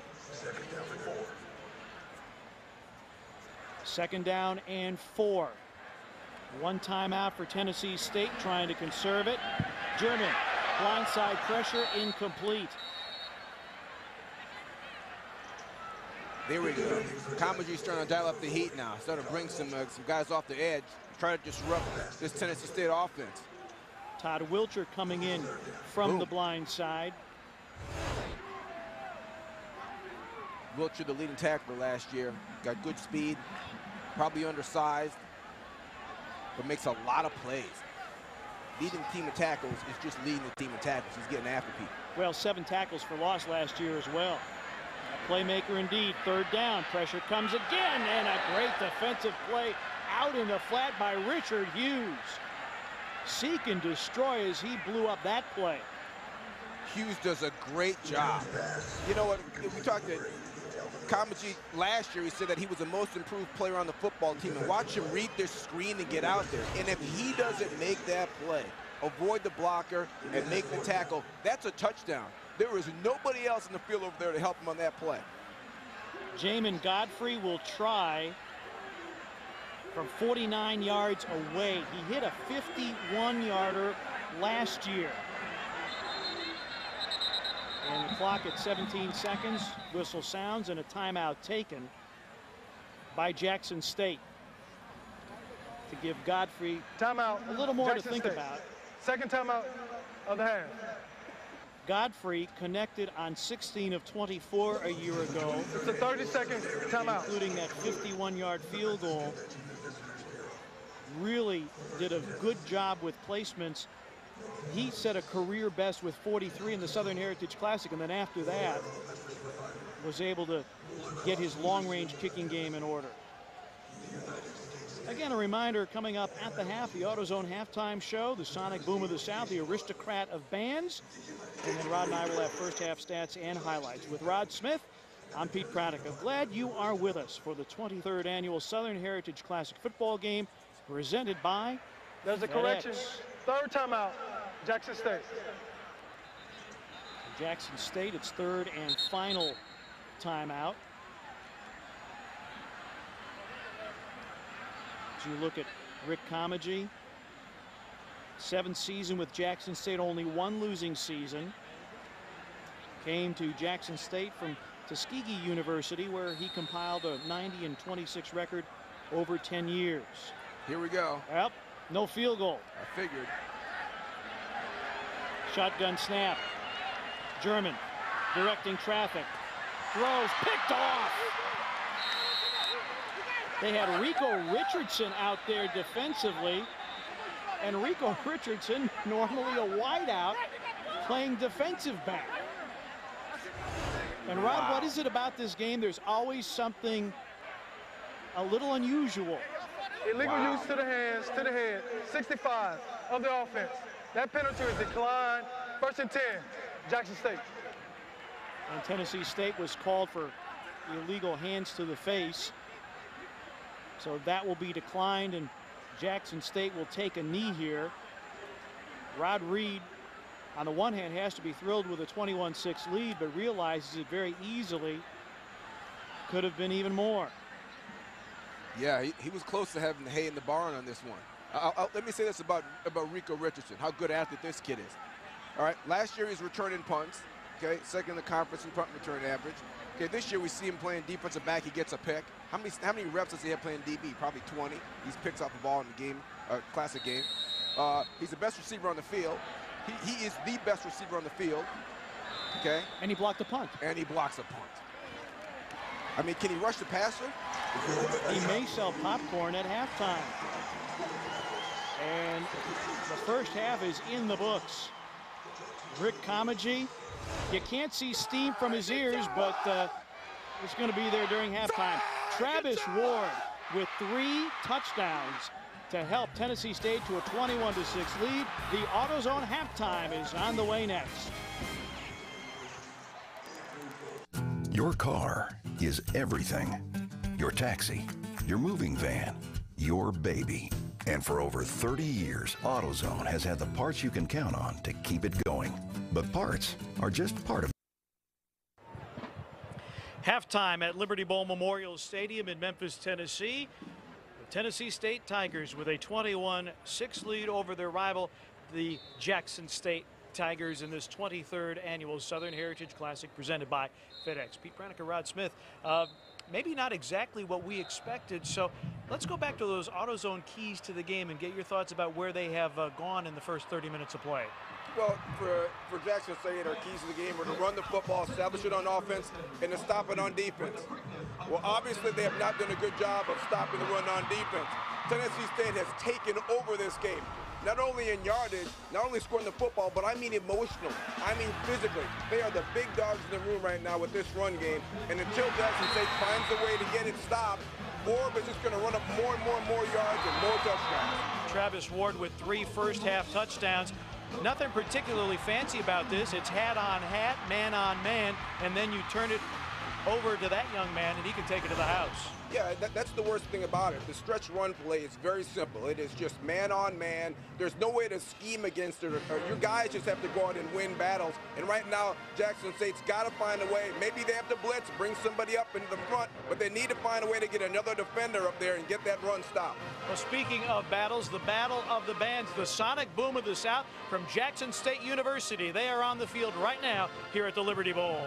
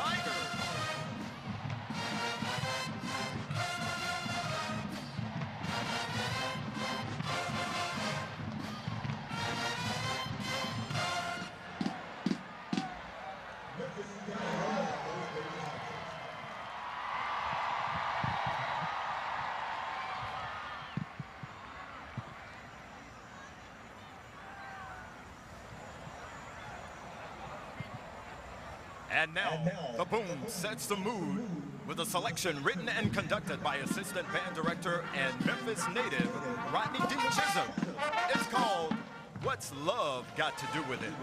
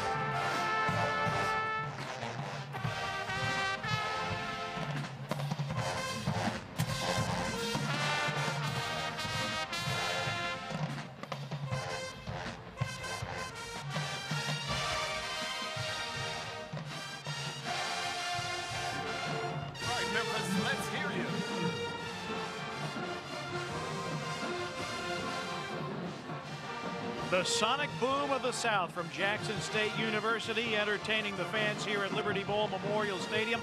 When the AutoZone halftime show continues, we'll have more from the aristocrat of bands. Tennessee State leads at 21-6 at half. Tennessee State University, celebrating our 100th year. We are rich in history. Our alumni include some of the most recognized and influential people in America. We provide students a wide range of academic programs and scores of different degrees to choose from. TSU is the number one university in the state in graduating academically talented students Tennessee State trying to snap a two-game slide to Jackson State in the Southern Heritage Classic. They lead at 21-6 here at halftime at the Liberty Bowl. Pete Pranica, Rod Smith. We take a look at the first half highlights, and we're going to see an awful lot of that uh, royal blue shade from Tennessee State. They did, I thought, a much better job of just managing the game, giving whatever Jackson State would give them. Oh, and also a lot of Travis Ward. Yeah, they're doing a great job in the run game, uh, complementing it with German in the pass game, doing uh, routes that he feels comfortable with, and they've had a great first half. Well, Michael German, I think, has just done a very good job of managing the ball game and getting the ball to the right players at the right time here, making a play off his feet, and fret the fullback with a rare catch, and then just a lot of Travis Ward. He's been brilliant. Yeah, they've done a great job. German here hitting the crosser. You know, in this kid AC, he's a, a big kid. He's got a tight end body, wide out capability on the run.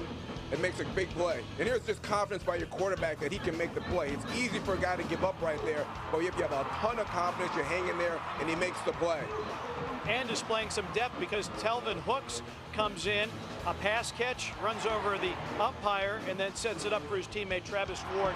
Three touchdowns in the first half. Then Rico Richardson gets the block, and it appeared that the game may turn at that point in time, but Jackson State only able to manage three, and then Travis Ward with the third touchdown. Yeah, a lot of credit goes to that offensive line. They have literally run two different offensive plays in the running game the entire first half, and they have a thousand yards rushing and a bunch of scores. It is a stretch left and a stretch right, which is a simple man-on-man blocking scheme, and the only way to beat it is to beat your man. 150 rushing yards for Tennessee State. Oh. German has thrown for 120. They have converted four of nine on third down, so they have kept the sticks moving.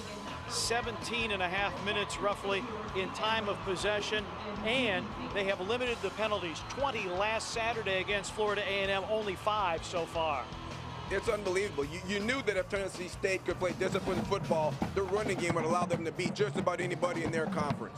Tennessee State up 21-6. More autos and halftime in a moment. What's a Tennessee vacation? It starts off like any road trip, and then the AutoZone halftime show rolls on. on a beautiful Saturday night here in Memphis, Tennessee. Tennessee State Aristocrat of bands on the field at the moment. These two schools have produced NFL talent. Crowd of bands from Tennessee State University. They're on the field now, making a whole lot of joyful noise for the crowd here at the Liberty Bowl.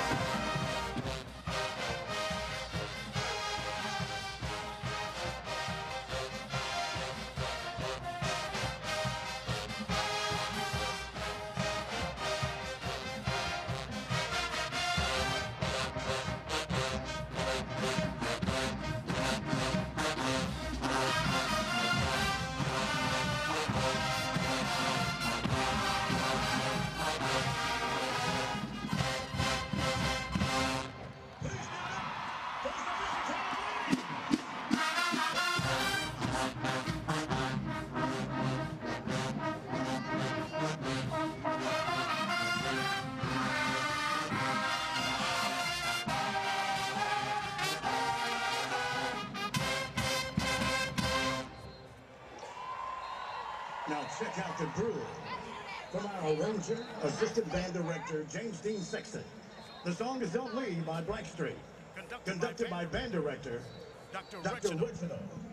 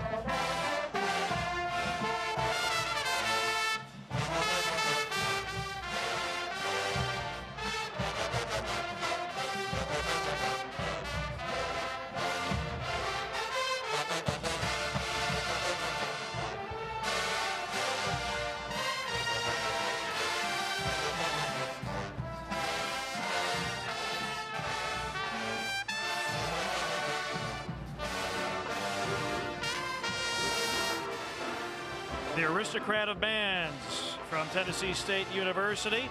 The AutoZone halftime show here at the Liberty Bowl. Third quarter straight ahead. Tennessee State up 21-6. My name. Now they're gonna come out trying to slug, but they ain't, they ain't slugs we slug with. They ain't slugs we slug with. I'm gonna tell you that right now. Hey man, this is gonna be big time slugging. I'm talking about big time slugging, man. Big time slugging. Big time slugging. I'm just what I'm saying to you. I'm telling you the God's truth. It's gonna be big time slugging. You're gonna think they can out hit you, and you'll let go. So you gotta knock them in the mouth. You gotta play ball. It's gonna be big time slugging. I'm just telling you that right now. I'm telling you again. It's gonna be big time slugging. You don't get off of you don't get in the rest, you're not gonna be able to slug. It's gonna be a thick slugging going on tomorrow. Thick slugging. A lot of body time.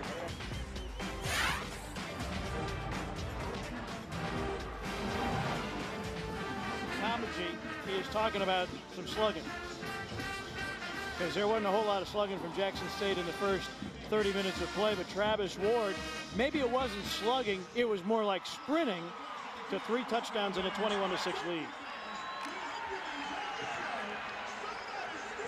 Jackson State, Rod, is in a very unusual position. They were 9-2 last year. The two losses by a total of 10 points to Alabama State by 7, by 3 to Grambling. They scored 23 or more points in 9 of their 11 games. They have 6 at halftime, yet to find the end zone. You know, and, and, I'll tell you what, on the offensive side, we're talking Jackson State is scoring points. The thing that jumps out at me is they've probably dropped, I don't have the stat in front, I would bet, I would dare to say that they have dropped more balls than they've caught today. And you can't sustain drives or score points if your wide receivers are dropping balls at that rate. I mean, it is, it, it's a, it's a, it's I've never seen it before. I mean, they had four drops in the first two series last week. They come in here in the first half and they have what four, five, six, seven, eight drops. Unbelievable. Enrico Richardson just two receptions. I did have an interception and a block punt. Joseph LeBeau only two tackles. That's a very low number from him. E.J. Drury, the leading receiver for Jackson State, with five receptions. Meanwhile, on the Tennessee State side of things, their difference makers. And A.C. Leonard had that one catch and run of 34 yards. Travis Ward, easily the biggest difference maker, 15 for 87 yards, three touchdowns. Nick Thrasher's been very, very quiet, but the guys up front have done such a good job that Thrasher really hasn't had to clean up, and everything else has been in the deep half where balls have been dropped by Jackson State receivers. So Thrasher's not gotten a whole lot of business. Well, Thrasher's a fine football player, but he'll, he'll quickly find out that you've got to play at an extraordinarily high level if you want to average 11, 12, 13, 14 tackles a game. But they can get they can get scarce if your uh, defensive front is doing a good job like they are today. We talked about the drop passes. Unofficial count, seven drops against Mississippi State last Saturday. They lose in Starkville 56 to 9. Jackson State won the toss, deferred their choice to the second half, and they will receive the opening kickoff of the second half. Godfrey has it in the air. Singleton through a hole the 25 and the 26 yard line before he is finally dropped. You know, Tobias Singleton is a guy that could be a difference maker, but they've not been able to get him the ball on a on a regular series of plays where they can allow him to get in space and, and to create some plays. A 20-yard return for Singleton. He had three receptions against Mississippi State last Saturday night.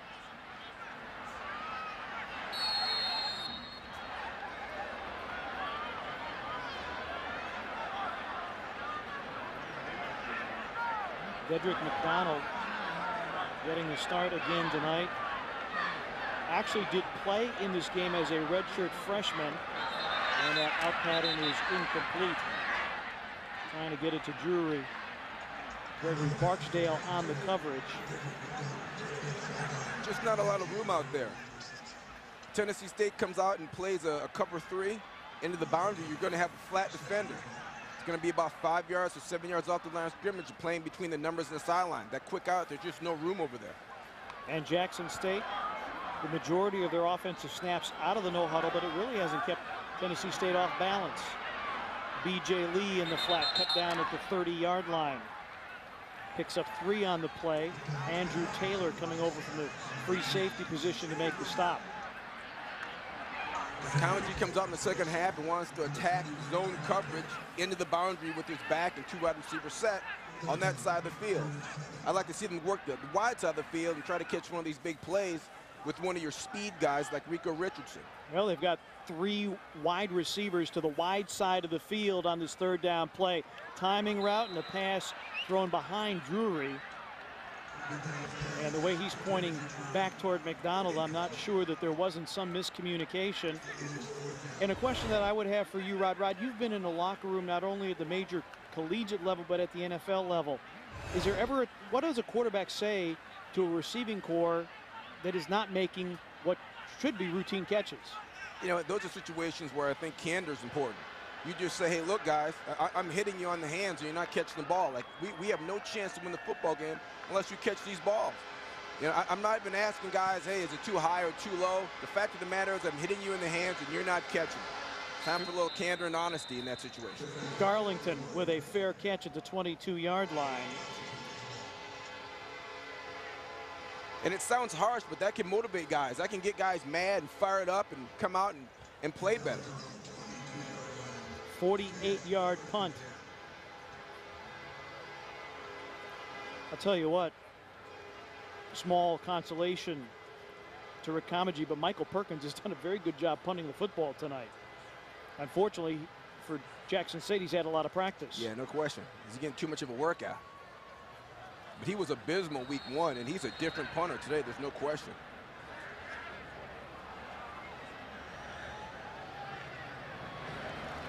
Ward gets to the second level easily and is dragged down at the 32-yard line near first down yardage. Cameron Loeffler making the stop. Watch, watch your nose guard. Boom, right on the ground. Bang, look at that big hole in there. You see that? And you saw number nine, Milton Patterson, pushed out of the way. We haven't called his name all night long, and he's a very good middle linebacker. Ward has oh. a crease at the 40 and another double-digit gain. Give him 12 and another first down. Travis Ward. I think the 40-yard line got a tackle on that play. Look at this. He is through the line of scrimmage without getting a hand on him. Then the 40-yard line, up, oh, nope, somebody got, his, somebody got his ankle. Ah, he's too big and strong a kid to get tackled by the ankle like that. Pull through that bad boy and take it to the house. Good run. First and 10 from the 44. Ward goes out in the pattern. Ball over the middle, intended for Devin Wilson. Ward has gone over 100 yards, 109 on just 17 carries, three touchdowns. And that makes Michael German's job a whole lot easier. Oh, geez, doesn't it? On that last play, not a bad throw. A, good defense there. Cover three, the linebacker, taking the cross crosser, making a good play on it. Ward with the carry, pops through. A foot race dragged down inside the 30 by Richard Hughes, who has had a very, very busy night. And a flag on the play as well.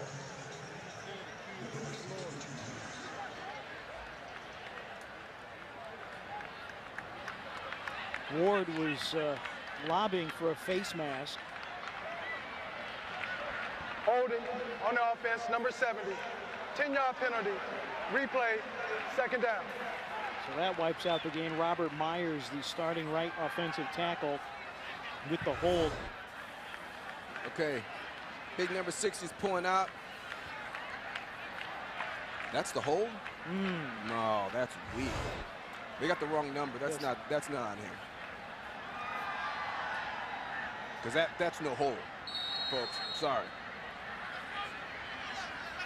So the ball marched back to the 34-yard line.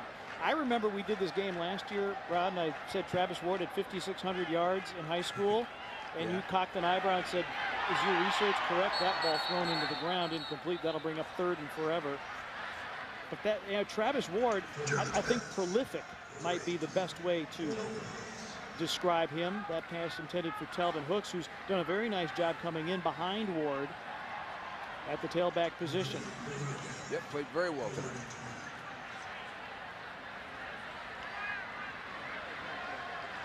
I think Ward's a little bit better on that stretch play because he really challenges the outside edge of the, of the stretch run play and then cuts back.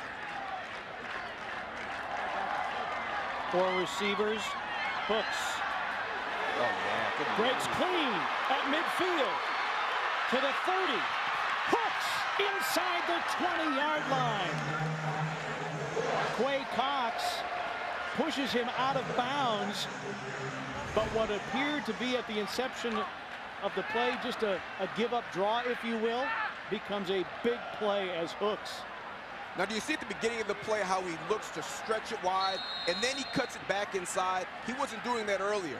You know, I think maybe Ward was telling him on the sideline, say, look, take it wider initially and then cut it back. Don't take it right into the line of scrimmage. The stretch play is most effective when you stretch the defense initially, then you cut it back. Telvin Hooks, 51 yards. Ward comes in, fresh legs, picks up a couple, is wrestled down. And Hooks with 94 yards on just eight carries. How's wow. that for a per carry average? Oh! So you could have two 100-yard rushers in one game. Tedrick Terrell making that last tackle against Travis Ward.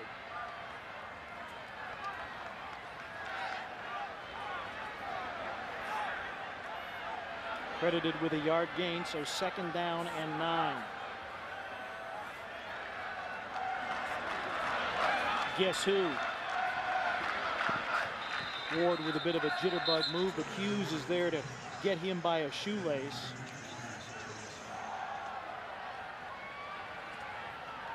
The last thousand-yard rusher for Tennessee State was Javarris Williams in 2008.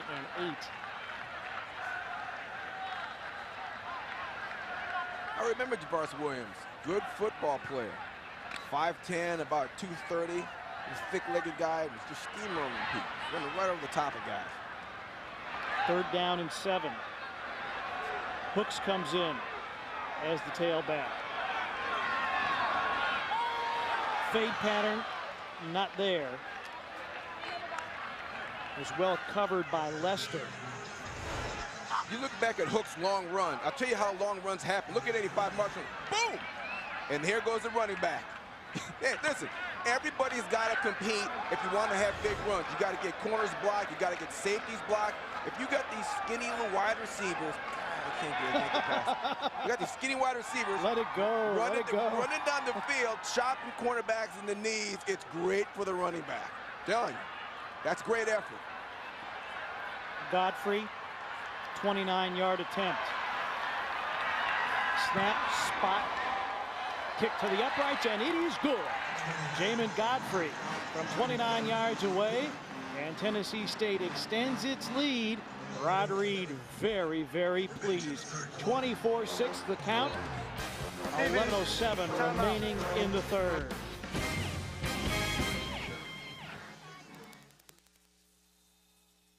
When you are the 23rd annual Southern Heritage Classic is sponsored by FedEx. FedEx, solutions that matter. By the Memphis Convention and Visitors Bureau. For information on Memphis, visit memphistravel.com. By AutoZone. For the auto parts, accessories, and advice you need, get in the zone. AutoZone. And by Allstate Insurance. You're in good hands with Allstate. Tennessee State with a 24-6 lead. That last drive, nine plays, 66 yards in three minutes and one second. Jamin Godfrey, 29-yard field goal. Well, Rod, this is the point at which Jackson State needs something big. A kickoff return, long pass play. They need something to go right here. Down 24-6. Without question, they need to make a play. Man, that's not it. B.J. Lee is dragged down after a very short return. Andrew Bather and a flag down on the field. BJ coming up, cuts right. Maybe a horse collar. Actually, no flag.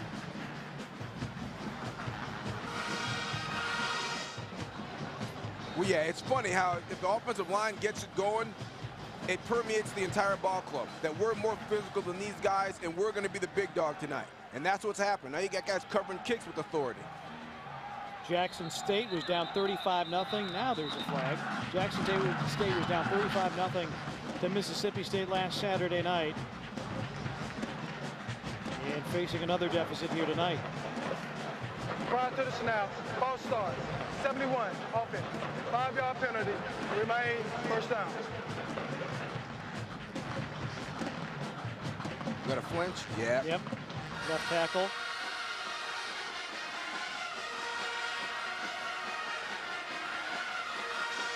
That is not a happy man.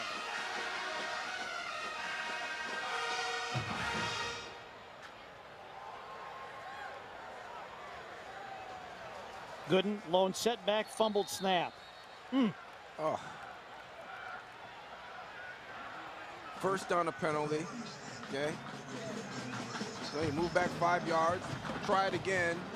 We snap and put it on the ground. Oh. Look at his face. Last year, they were able to overcome a minus 15 turnover margin throughout the season to go 9 and 2. They lost 21 fumbles a year ago. Oh. Again, they also had almost 6,000 yards of offense. Yeah, Casey Therriault can make up for a lot of that, but Casey's not in a Jackson State uniform. Ball comes out after the completion. Tennessee State says they have it.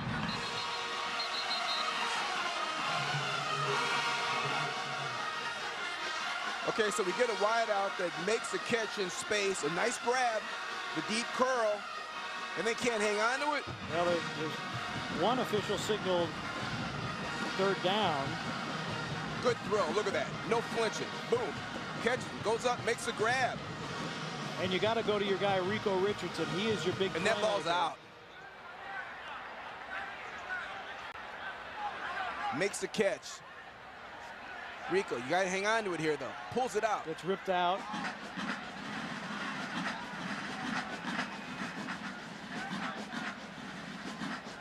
Yeah, Greg Barksdale, number 10, pulls that thing out. Great play. He's already tackled, so why go in there and put another lick After on him when you can strip that ball out? Personal foul, number 22 of the defense. 15 yards on the forward progress Stephen spot. Godbolt. First and 10. Well, Rod, that was what you talked about, discipline. Oh. Oh.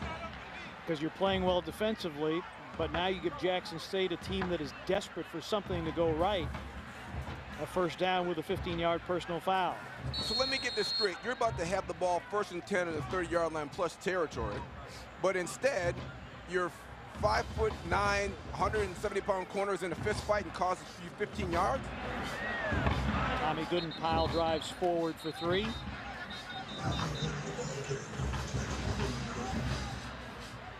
And this is the point in the proceedings at which things normally get kind of chippy.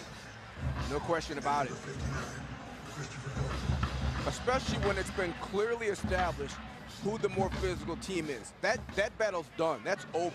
So now, if you're Jackson State, it's going to get chippy. You're going to get more aggressive. You got to try to reassert yourself because you've lost that title so far. Play action for McDonald. And not well thrown in the direction of Rico Richardson. One play that we have not seen, and I bring it up because we're looking at Rico Richardson. Last year, first play from scrimmage, bubble screen goes 65 yards, goes the distance for a touchdown. That is one play that Jackson State relied on a year ago, and I understand that the personnel is a little different. They have a new offensive coordinator in Derek McCall, but we haven't seen that play, and that was their bread and butter play in this game a year ago. Third down, McDonald loads up, and that's deflected away from E.J. Drury. Daniel Fitzpatrick with the pass deflection, and that'll bring up fourth down for Dedrick McDonald and Jackson State. Fitzpatrick with the nice play. The strong safety. Running with that outcut and making a play at the ball. McDonald missed a wide open receiver at the at the on the left side of the field. Okay? Tennessee State was confused on how to line up in their man-to-man -man coverage, and there was a safety scrambling to get over there. As a quarterback, you've got to notice a safety running from the middle of the field, scrambling out to the hash mark. Garlington And Ryan Berry back. And that one is picked up by Tennessee State. And Jackson State just cannot get anything going. Uh. Block punt and the recovery.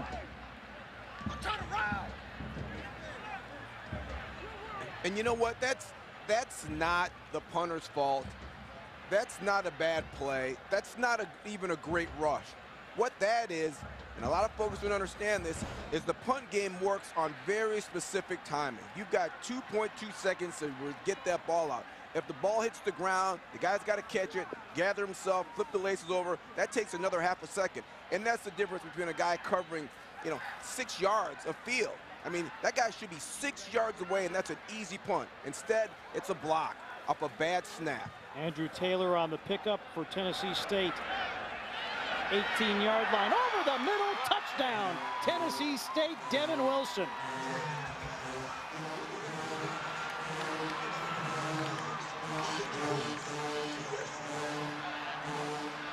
Devin Wilson does a nice job of recognizing it.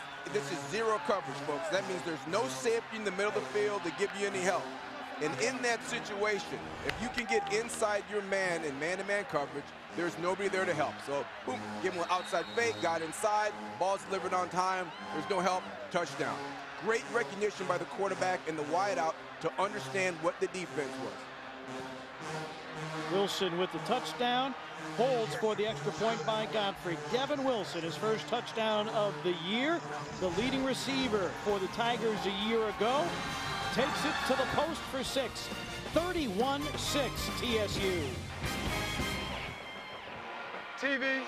This is well, Tennessee State had a seven-game winning streak in the Southern Heritage Classic. They had it snapped a couple of years ago. Jackson State had won the last two meetings.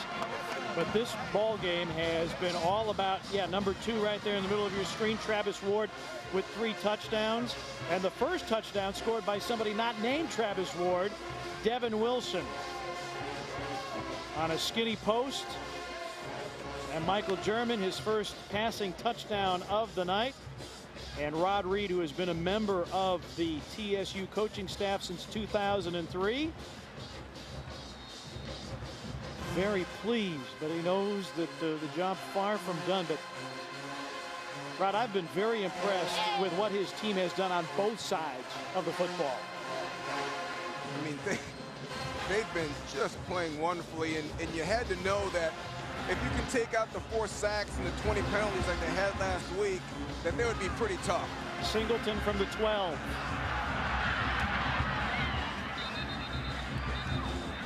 Taken down at the 22-yard line. Pushing and shoving there. Well, if, listen, it, it's the hard fact of life. At the end of every football game ever played, every player knows if that guy across from you kicked your butt for the last hour or not. It may not get talked about in the locker room. Everybody on your team knows because they watch the film and they know you got smashed by that kid. That battle is lost. Now it gets chippy because Jackson State's going to try to recover that lost pride. Well, Clayton Moore checks in, a 6'2 junior from Louisville, Kentucky. Did play against Mississippi State. Straight ahead handoff on his second play from scrimmage. You'll remember that he had a quarterback sneak after McDonald lost his helmet. Moore came in, snuck in for what appeared to be a Jackson State touchdown, but it was wiped out by a procedure penalty. Moore transferred from Akron. Last week, 5 of 10 for 17 yards and also rush times, rushed four times for 42 yards.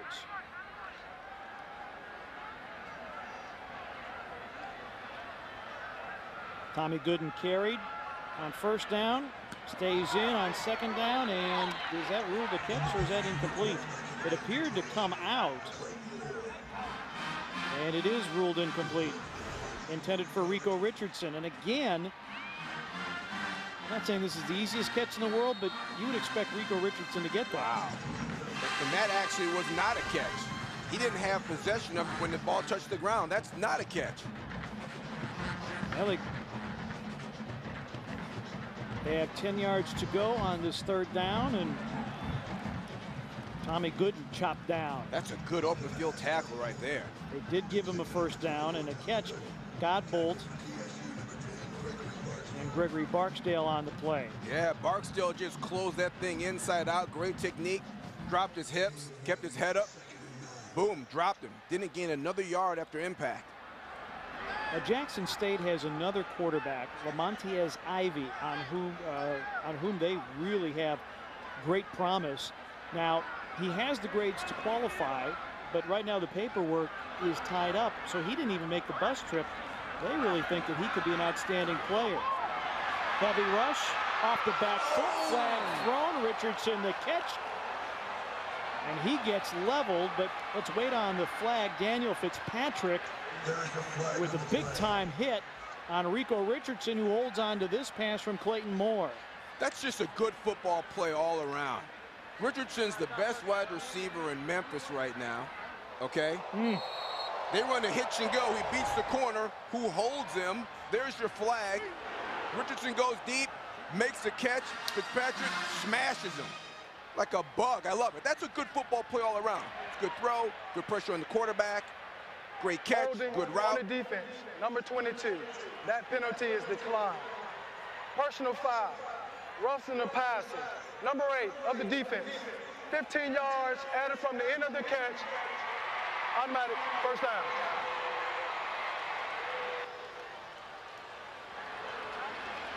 So a 15-yard personal foul penalty tacked onto a 26-yard gain. Totally unnecessary. Totally unnecessary. Wilson Robinson, the outside linebacker, uh. drawing the flag. Just past the midway point of the third quarter.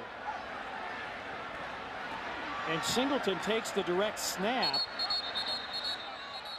and gains maybe a yard.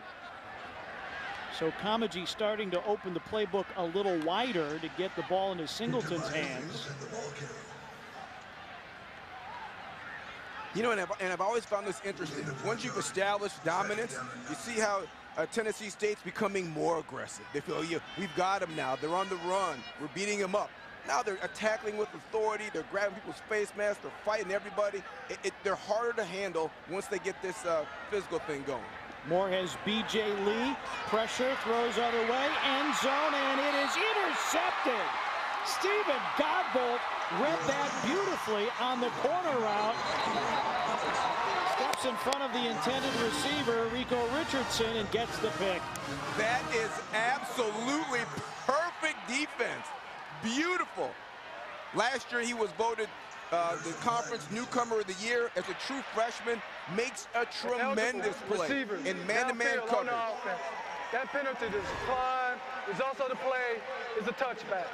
First and 10. There was a flag on the play against Jackson State. Godbolt, his second interception of the season. He had two a year ago and was named to the OVC All-Newcomer team. Yeah, you can't play any better technique than this at the quarterback position. Pushes him to the sideline, reduces the angle for the quarterback, and then goes up and makes the catch. Tremendous. Goes and gets it at the highest point. It's as good as it gets. So a touchback on the interception. Ward tests the left side. And Jackson State a little stouter across the front. There was a period of time, Rod, in that second quarter where Ward was getting through to the second level and uh, wasn't getting his jersey so much as wrinkled. Jonathan Billups made that tackle. Yeah, I mean, it, the second quarter, they had it going at a rate where, yeah, guys were getting five yards deep in the secondary before their a white shirt was in the screen. With Rod Smith, I'm Pete Pranica at the Liberty Bowl in Memphis. 23rd Southern Heritage Classic presented by FedEx. Jackson State got an early field goal, but then after that, it was all Tennessee State.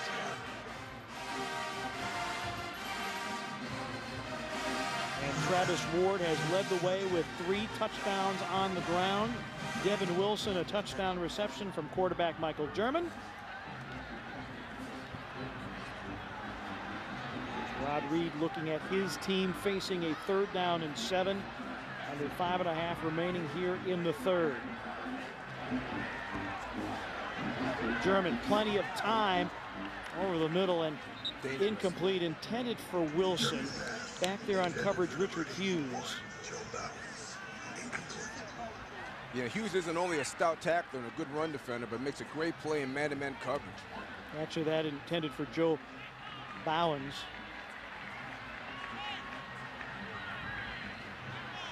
So that'll bring up fourth down.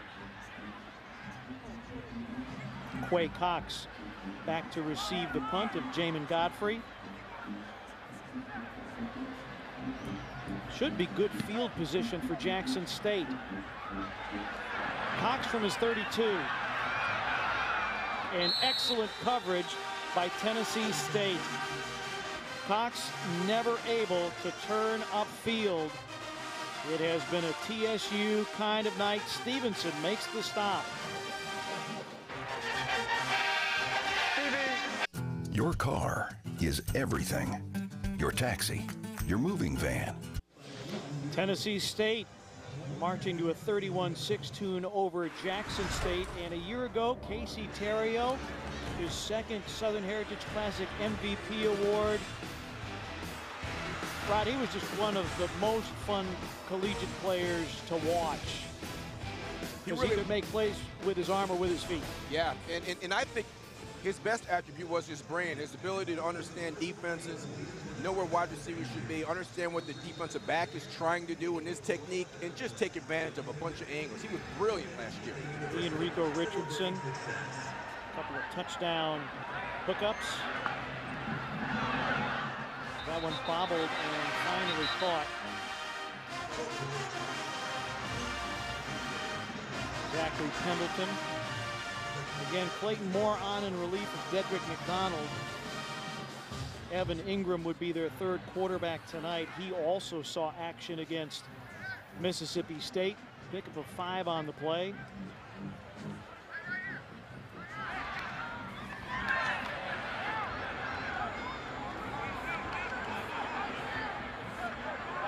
This one of the rare Southern Heritage Classic games in recent memory that has not been tightly contested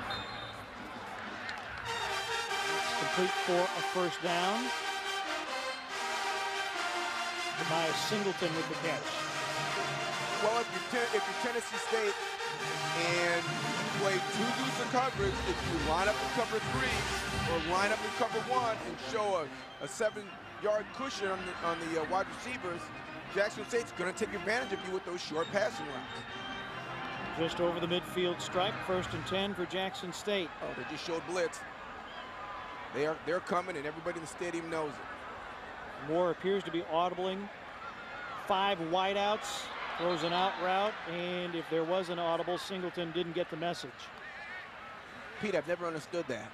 If a guy's 15 yards deep and he runs up to the line of scrimmage and then oh, he doesn't want to cross the line of scrimmage, guess what? He's blitzing, all right? mm -hmm. I mean, it's pretty obvious. Yeah. I mean, the guy's running at you. Yep. So once you check the play, okay, you wide receivers, you get their eyeballs, hey, look at me, here's the check. Everybody's got the check. How do you have a miscommunication at that point?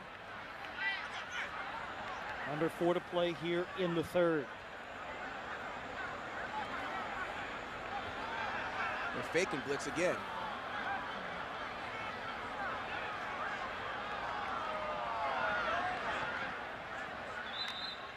And a catch by Singleton. That'll be well short of first down yardage.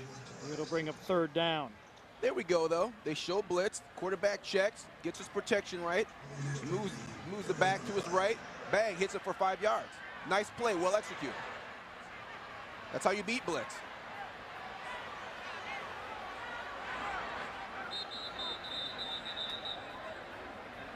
And the timeout is going to be taken by Jackson State.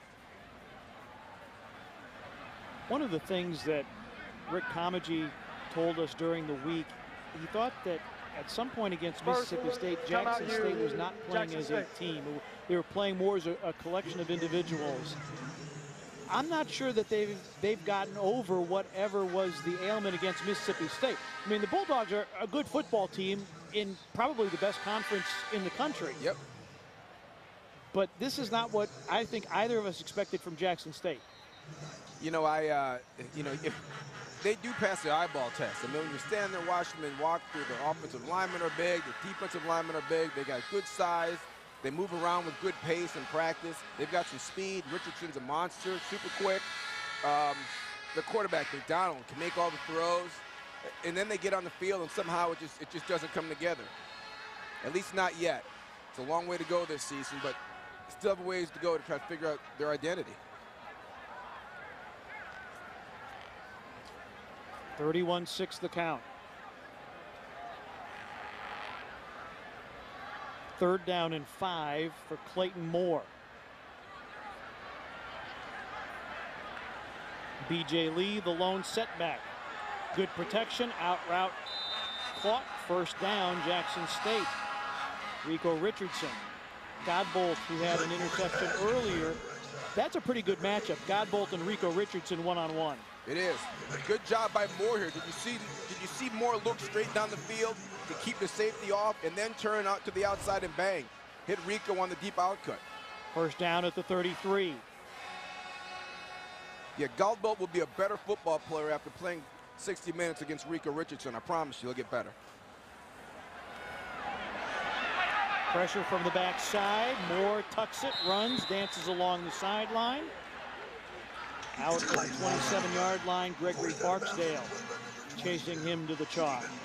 You know what, Pete? It could be is uh, Casey Therriault may have had such a an impact on the, being the leader that just that one guy leaving your team, even though they have 15 returning starters, he was so much the leader in the locker room and on the field and in pregame and in offseason. Just to lose that one guy, there's a leadership void. Well, and Ernest Gaines was the offensive coordinator, and he and Casey had a pre-existing relationship coming to Jackson State.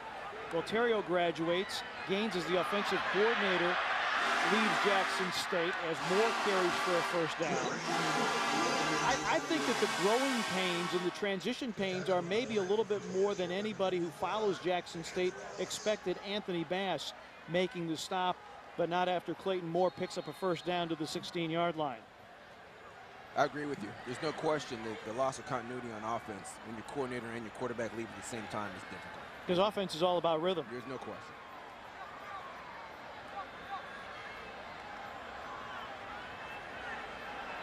Richardson and Drury to the near side. B.J. Lee, the single setback.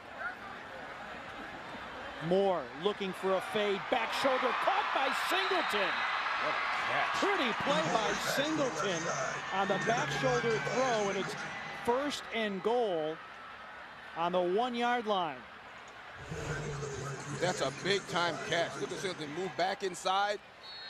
And nice catch. And Ronnie Vincent might have been guilty of interference anyway. And Moore goes in off left tackle. Touchdown, Jackson State.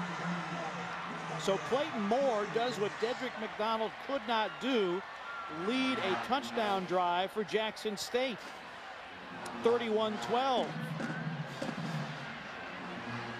It's a nice drive. We had the one miscommunication on the blitz. Other than that, he played fantastic. Hit guys when they were open. Did check against the blitz and had a successful play. There was an unbelievable back shoulder fade on the goal line. Hits Rico on a bomb. Deesing's PAT, no good. Nine plays, 68 yards. And that is the second missed PAT this year for Ryan Deesing, the freshman from Nashville, Tennessee. Uh, that's that's painful. I, I mean, kicking game a concern for Jackson State. Deesing fails on the PAT. I think what happens now for Jackson State, Rod Smith, is going forward, you're so excited about Lamontiez Ivy, a 6'3", 225-pound freshman from East St. Louis, Illinois, a three-star prospect by Rivals.com, and now You've got Moore coming in getting significant time. Dedrick McDonald has been your starter. He rotated with several quarterbacks earlier in his career, so Rick Comegy is going to have some decisions to make, and we touched on it at the top of the telecast. They have seven quarterbacks on the roster. It's unbelievable.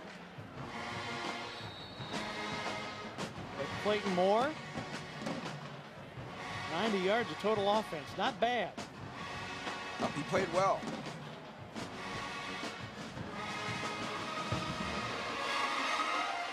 Garlington and Stevenson are back. Garlington inside his own 10. Looking for a block or a cutback alley. Across the 25-yard line. Yeah, better cut by Garland there. Committed to stretching the play 100 miles an hour and then make your cutback. 16-yard return. Rod, I think this is an interesting juncture of the game for Tennessee State. They've had trouble with discipline and penalties. They get 31-12. This ball game is yours, essentially, if you maintain your poise and do what you're supposed to do as German steps in under center. Travis Ward. And then the other thing, too, is what do you do with your play call? The balance of run and pass has been good. They've been productive in both areas. You really don't want to you don't want to change anything, do you? Even though you're up 31-12 late in the third. You got to run it the same way. I have I have been on a football field and been up 30 to 10 against the team and lost. I've I've been through it. I've seen it happen. It's a brutal thing. Don't remind me. Yeah. I was there. right? Don't don't German off backside pressure throws up a floater. Yeah, don't let Jackson State get their mojo rolling. They score now, they get a three and out, you punt to them, they run it back for a touchdown. Next thing you know, you're in a dogfight, and now they've got the momentum. They're feeling good about things. They establish themselves physically, and now you're in a war for your life. This is when you got to run the. You've got to be. You've got to be disciplined, and you've got to move the chains. Two first downs, eat it with some clock, and then punt it away. Trying to hit Joe Bowens that last attempt. Third down and 12. Here comes the rush again. German directing traffic, throws late over the middle, never a good idea, trying to hit Travis Ward. Antonio Sutton back on coverage. If you're Comegy, this is exactly what you want. A quick three and out. Rod Reeds decided to throw the ball on second down rather than run it again, use up some more clock. They've got the ball back and only 17 seconds are off the clock. Get a big punt return. I mean, we've seen crazier things in this in this series. Been there. Godfrey back to punt. Quay Cox to return. Not a good kick at all. That's what you need if you're Comegy. Pretty good pressure by Jackson State. And I'm not necessarily sold on that rugby style angle to the side, kick it on the run. Because you can't, the, the timing is different and you can't really get it away very quickly. Well, there's a reason they don't do it in the pros. 33 seconds remain in the third.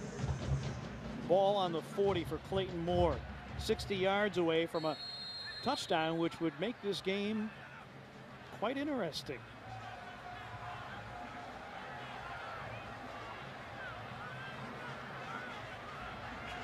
Yep, Moore's been hitting his guys. And then runs into his lineman, Zion Hyatt. And that will not end well. I thought Moore was maybe a little quick in the pocket on that one to abandon the pass. He looked front side. He didn't see a wide, a wide open receiver and tucked it and was ready to run. You got to stay in the pocket a little bit longer. Check the backside. There might be a guy running scot-free. Loss of two on the play. And the clock has expired here in the third quarter. Tennessee State a 31 to 12 lead. Is this a momentum play for Jackson State? Can they climb back into this one? 15 minutes remain in the 23rd Southern Heritage Classic presented by FedEx. Fourth quarter of the 2012 Southern Heritage Classic about to unfold here at Liberty Bowl Stadium. Just a perfect night for football, a little bit of breeze. Things have finally cooled off weather-wise here in the Mid-South. Second down and 12 facing the Jackson State Tigers, who also face a 31-12 deficit. Clayton Moore over the middle. Drury, first down. Jackson State, E.J. Drury on the crossing pattern. Barksdale on the tackle for Tennessee State. And a first down for Jackson State as Clayton Moore coming on in relief of Dedrick McDonald continues to move the chains. Comegy gets a lot of credit for that first down, and I'll tell you why. He saw cover two, recognized it. Ball fake, draws, draws up the linebacker, bang, hits the crosser. That is a scheme play. Comegy gets credit. Out route, intended for Drury, incomplete. Did he have a chance of catching that, or was it defended? I think I may need to see a replay on this. I thought it was a pretty good ball. I'm not sure if it was deflected or not. Number 27, Harold Watson coming over from the strong safety position to defend the pass.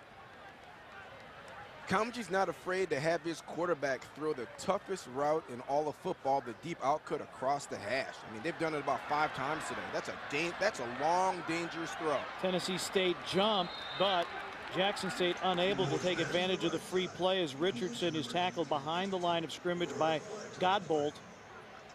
Boy, Godbolt has really played a tremendous game. Started 7 of 11 games a year ago, 37 total tackles, couple of interceptions, had one tonight. Offside, on the defense, five-yard penalty, remain, second down.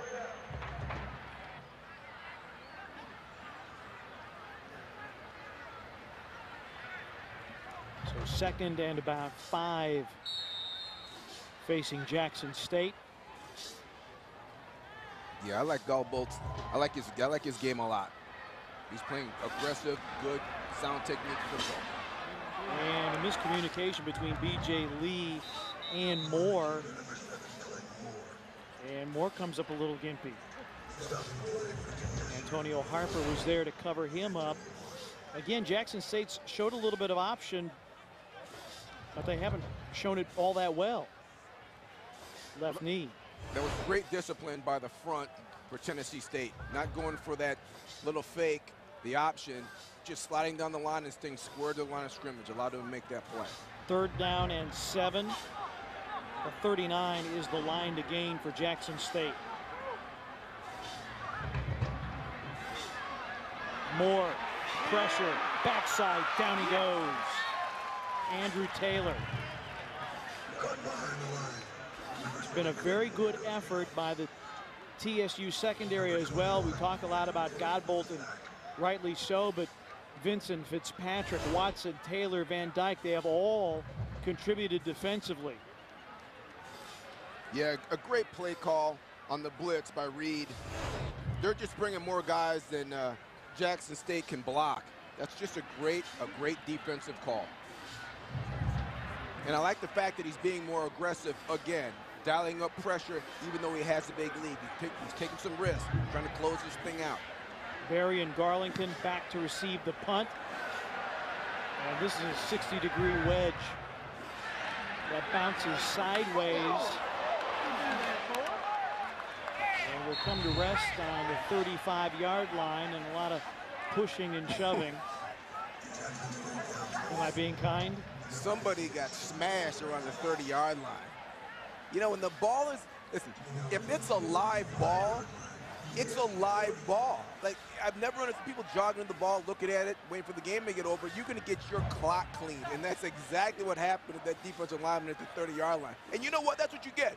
This is, a, this is a football game here. It's a contest of men. If you want to jog around, staring into the stands, looking for your girlfriend, you run the risk of getting hit in the ear hole.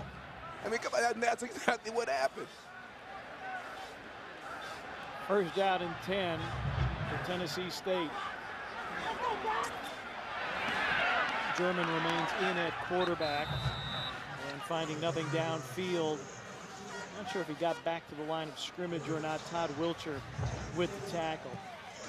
Well, Rod Reed is uh, one of those football guys through and through. He's also coached at Prairie View A&M and at Bethune-Cookman. His daddy, Robert Reed Jr., this is actually Rod Reed III, but his daddy, Robert Jr., an All-American guard for Tennessee State, and he also played for the Washington Redskins. He's a bad man. Second down. Hooks. Carries to the 39-yard line. Yeah, Hooks has had a great game, and, and they're doing this versus a nine-man front. I mean, you can't get anybody else up on the line of scrimmage if Jackson State. And they still get five. Well, we talked about the offensive line for TSU. Rogers Gaines, Kadeem Edwards, Sherman Carter. Those are three guys on the left side. Rod, I believe, have a chance to play on Sunday, and left side is where they go with Hooks. But no game there. And that'll bring up fourth down. Jonathan Phillips creating a pile and taking Hooks down with him. You know what? I, I, I can live with that. If you're Rod Reed and you've got a big lead, there's no reason to put the ball in the air and risk your quarterback getting hit or a bad snap, a fumble. Just run the ball three times, take 45 seconds off every play, and punt it away. Your defense has been playing lights out the second half. Quay Cox inside his 20, trying to turn the corner and is somersaulted down at the 22-yard line. Tennessee State has done it all well. They have covered kicks, they have forced turnovers, and as a result, they lead at 31-12.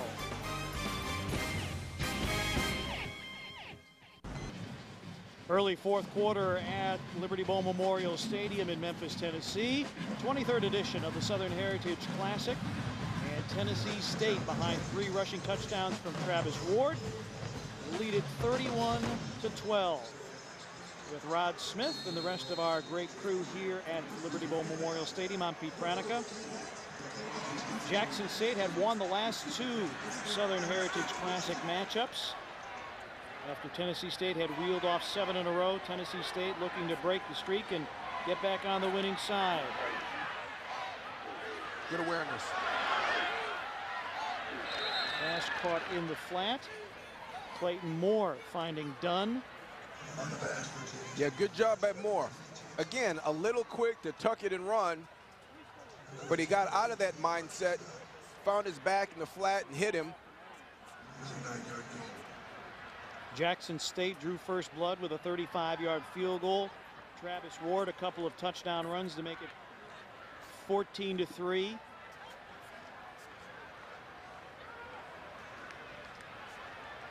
Moore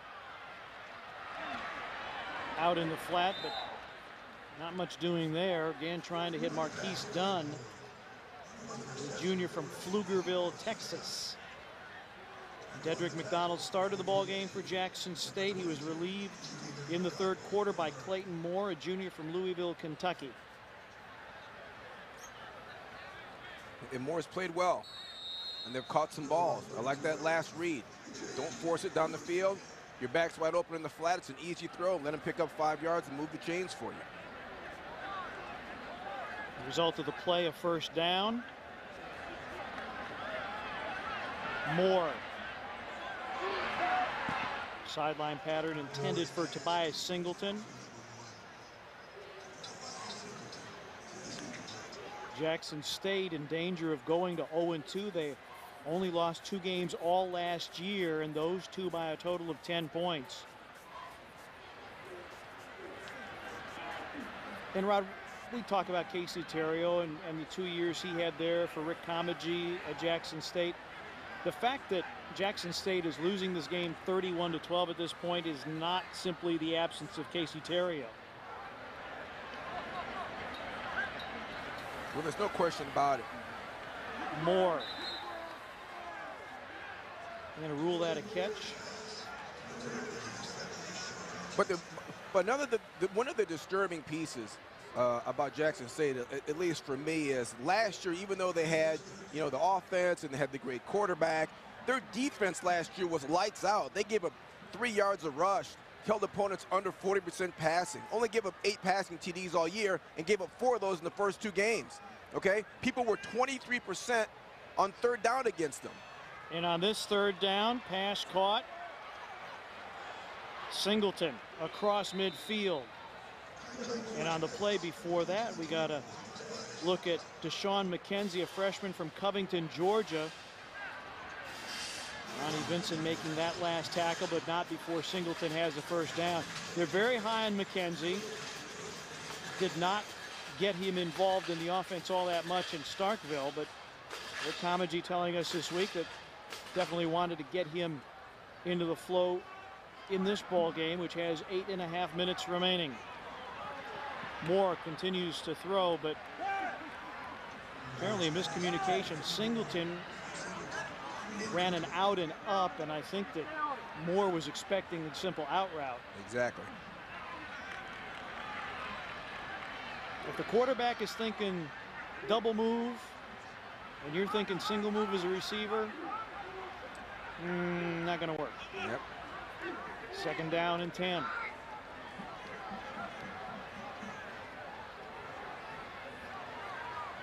See, the quarterback sees that safety leave the middle of the field.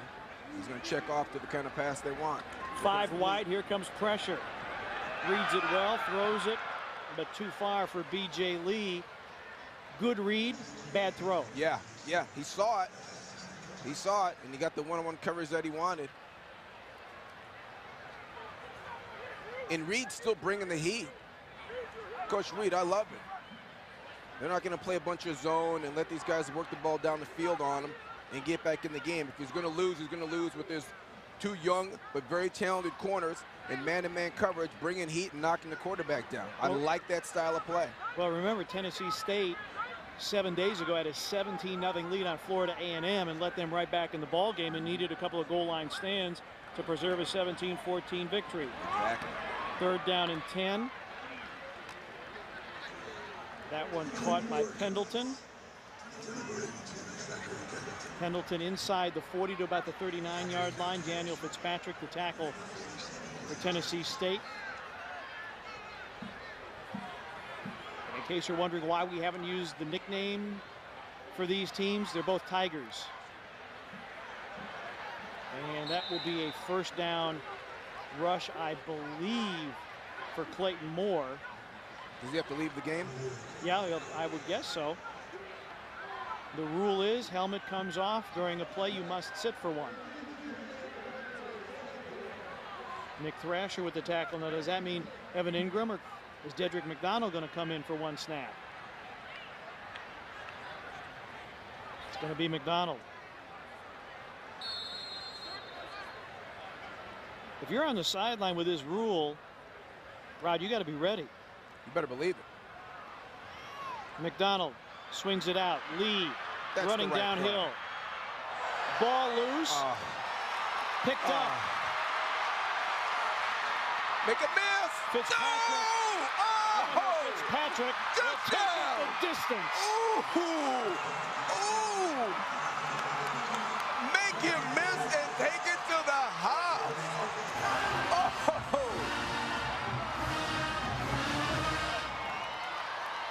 Daniel Fitzpatrick,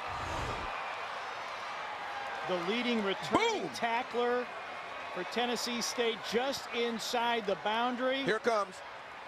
Here comes. Oops.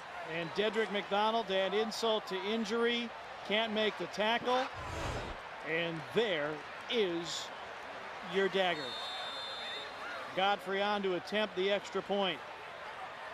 70 yards on the fumble return. Godfrey right between the pipes. 38-12.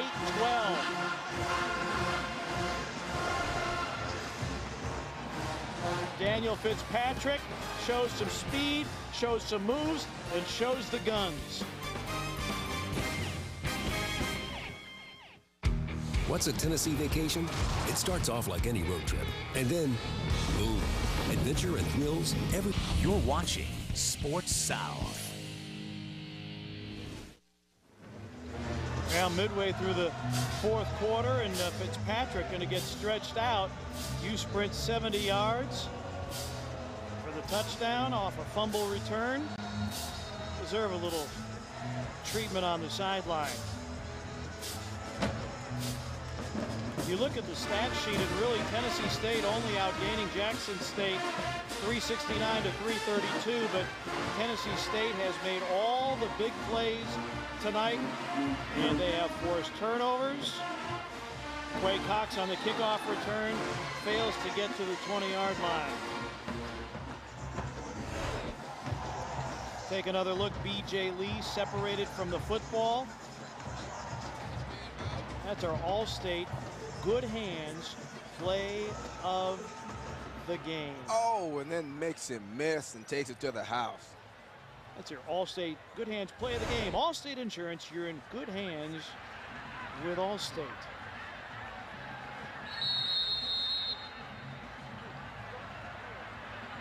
That play will go in the Tennessee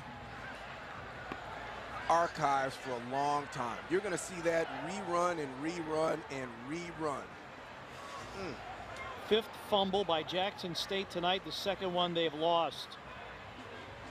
Rakeem Sims, the recipient of the handoff, gets to the 24-yard line, pick up a five, make it second down and five.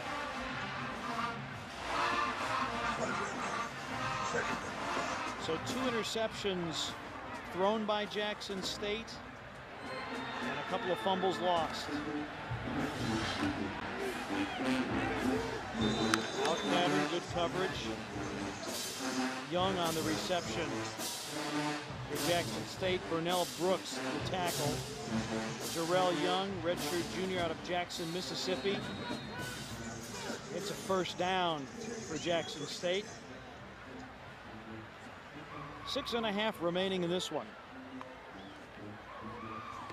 Tennessee State about to go 2-0. Jackson State 0-2 on the heels of a 9-2 season. Moore, room up the middle, headlong dive, gives him five yards. Will bring up second down and five. Well, Moore does a nice job there because there's nobody open in that route. They're running routes right into defenders in a zone scheme, and there's nobody available. That's a good situation where you tuck it and get as many yards as you can.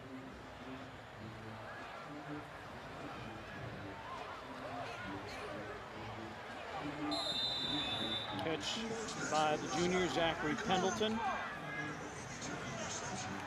A yard shy of first down yardage. Travis Ward for Tennessee State, 115 yards, three touchdowns, also a couple of receptions for 23 yards, would have the inside track for game MVP.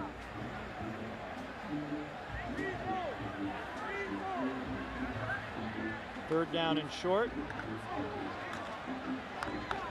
Sims carries for the first down. I have to say, Clayton Moore, and really for that matter, I'm not sure Dedrick McDonald looked all that comfortable running the option. And to run option, you you have to be committed to it. There's there's no halfway with running the option. There's no question. They ran it three of the first nine plays of the game, and on two of the plays, I thought McDonald was was was perfect in his read. On the third play, was bungled, uh, and then he never got another shot at it. He didn't have much success with the week one, and one for three, quite frankly, isn't good enough running the. I mean, two for three is not good enough running the option. That thing needs to be in the 90 percentile as far as execution on the offensive side if you want to have success. Young with a 10-yard reception. Jaron Guthrie with the tackle.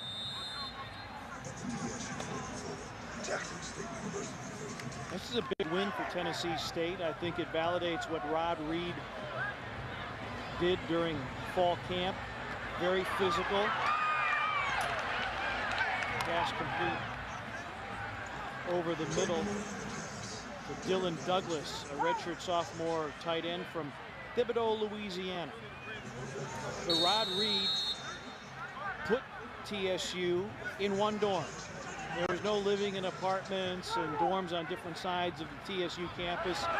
They ate together. They spent a lot of time together. He felt it was very important that his players got to know each other, not just as football players, but as human beings. Is that pass too tall for Douglas? Because this was a team in Tennessee State they were in a lot of games. A lot of one possession games. They won three of five. Well, and, and they lost leads in those games as well. Sure did. I, I think um, from a bird's eye view that Rod Reed's vision, which I happen to agree with, of how to build a football team may be coming to fruition. And that is when we saw him four years ago, he said, look, Rod, I'm gonna I'm gonna bring kids in from high schools, I'm gonna redshirt them, I'm gonna turn them into men, watch them get bigger, faster, stronger, and build this thing slowly. I'm not gonna take a bunch of transfers, I'll take a few, but I'm gonna build my team, my organization, basically through the draft. And that's what he's done. He redshirted all of his freshman class last year, excluding two. That's a mindset. That's a, that's a long-term engagement uh, in, the, in, in, in, the kids' development over time. And now, after, after being there for three years, you're starting to see he's got a group of linemen. He's got three of them that are pro prospects. He's got a quarterback that's a superstar. He's got two wideouts that are big-time players. He's got a defense that that uh, that's getting after folks. So you're starting to see those freshmen from his first year. Now they're juniors and seniors, and they're playing their tails off. They could be good going forward for a long time. Third and 10 pass too high. And actually, Harold Watson had a better beat on that than anybody wearing a white jersey for Jackson State. Fourth down. And Jackson State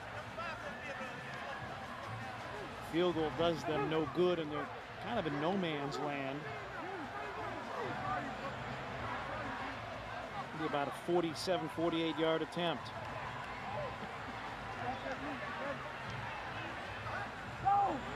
Clayton Moore. Pressure comes again. Incomplete. And the ball will be turned over on downs.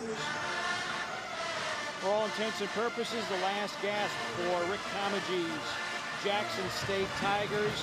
3.45 remaining. All TSU tonight in Memphis. My name is Bobby Rush. I'm here to talk about raising. I'm not talking about children. I'm not talking about your eyelids. I'm talking about raising the roof, raising some money. We need your dollars, your support. We need your presence. Talk to your friends and their friends by being a part of this. Let's raise the roof. Everybody together. We can push it to the top. Roof, look out. The American Garage. The temple of the tune-up. The Taj Mahal of overhaul. More of them count on AutoZone parts than ever before. But parts are just part of what we do.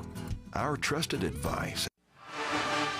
Tennessee State, 3 minutes and 45 seconds away from going to 2-0 on this young college football season. They'll be at home next Saturday to Austin Peay and, and Rod Reed has been all about balance. Pretty balanced, and they certainly established the smash mouth game with Travis Ward. Yeah, I mean, he'd rather run it. I mean, those are perfect numbers for him. 40 and 30 run pass, 35, 27 run pass. That's how he wants to win football games.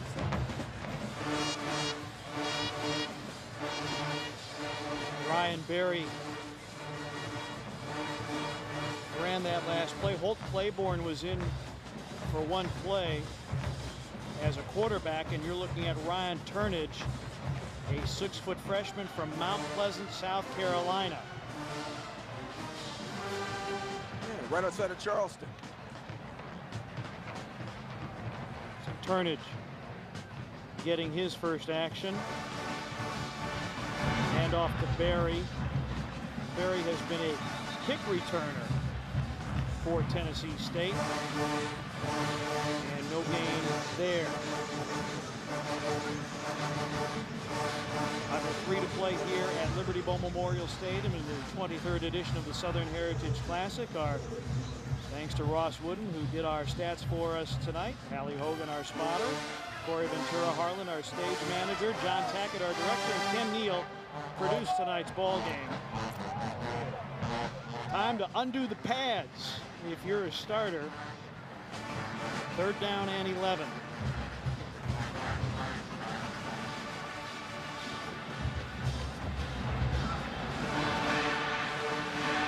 Berry with a crease, but not much there. A couple of yards. That'll bring up fourth down. And you can probably hear in the background flag on the play. 72. 10-yard penalty, replay, third down. I'm reminded of the line, Rod, the band played on. Or in this case, the bands play on. I- will tell you what. penalty is declined. It'll be fourth down. Tennessee State's band has been on a slow burn now for nine minutes. At nine minutes, at nine minutes to go in the game, they decided it was over, and they just played real soft, real soft, and now they're on the high burn. That was fantastic. When they feel, when the band feels like it's over, they start playing.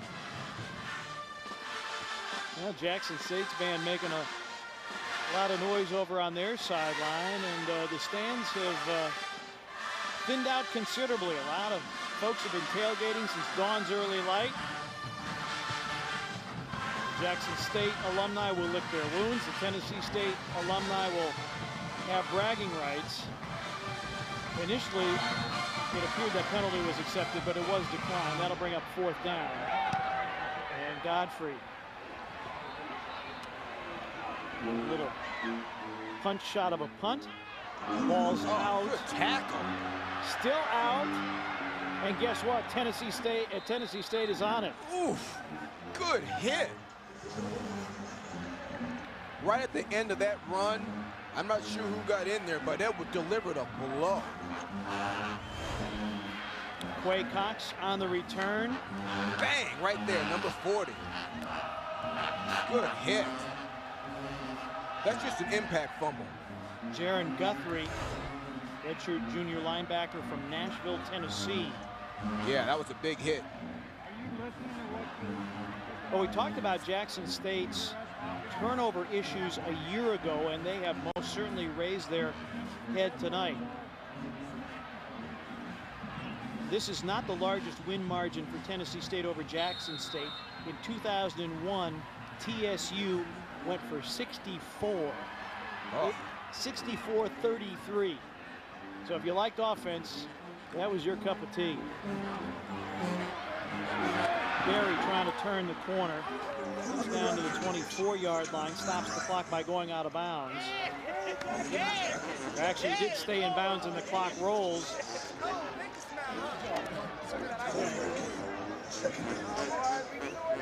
Rod Reed got the bath. They hit him with the Gatorade.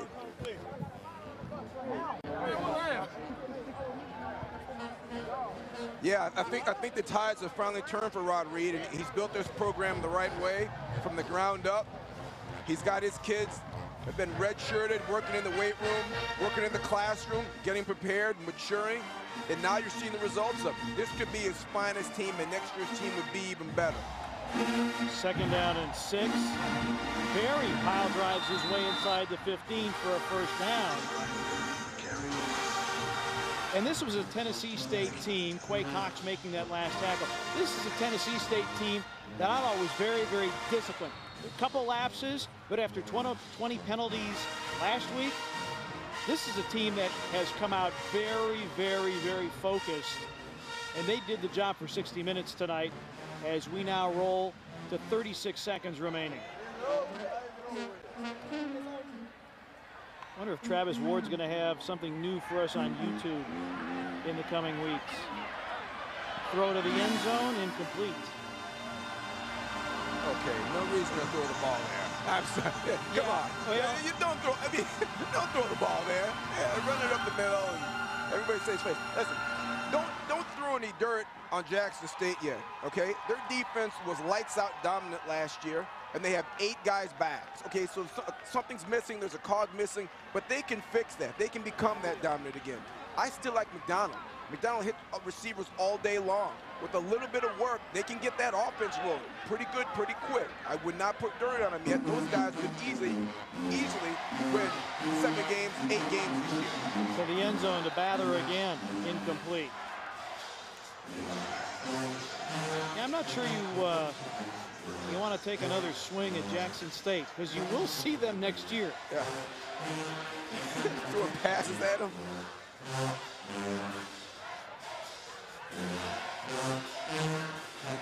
Yeah, he's not happy about that. He's like, hey, let's run the ball. Let's get on the bus. Yeah. What are we doing? 15 seconds remain. Come on, 15 I, seconds left. You're throwing bootlegs on me. Come on. And I go back to what Coach Comegy said yesterday.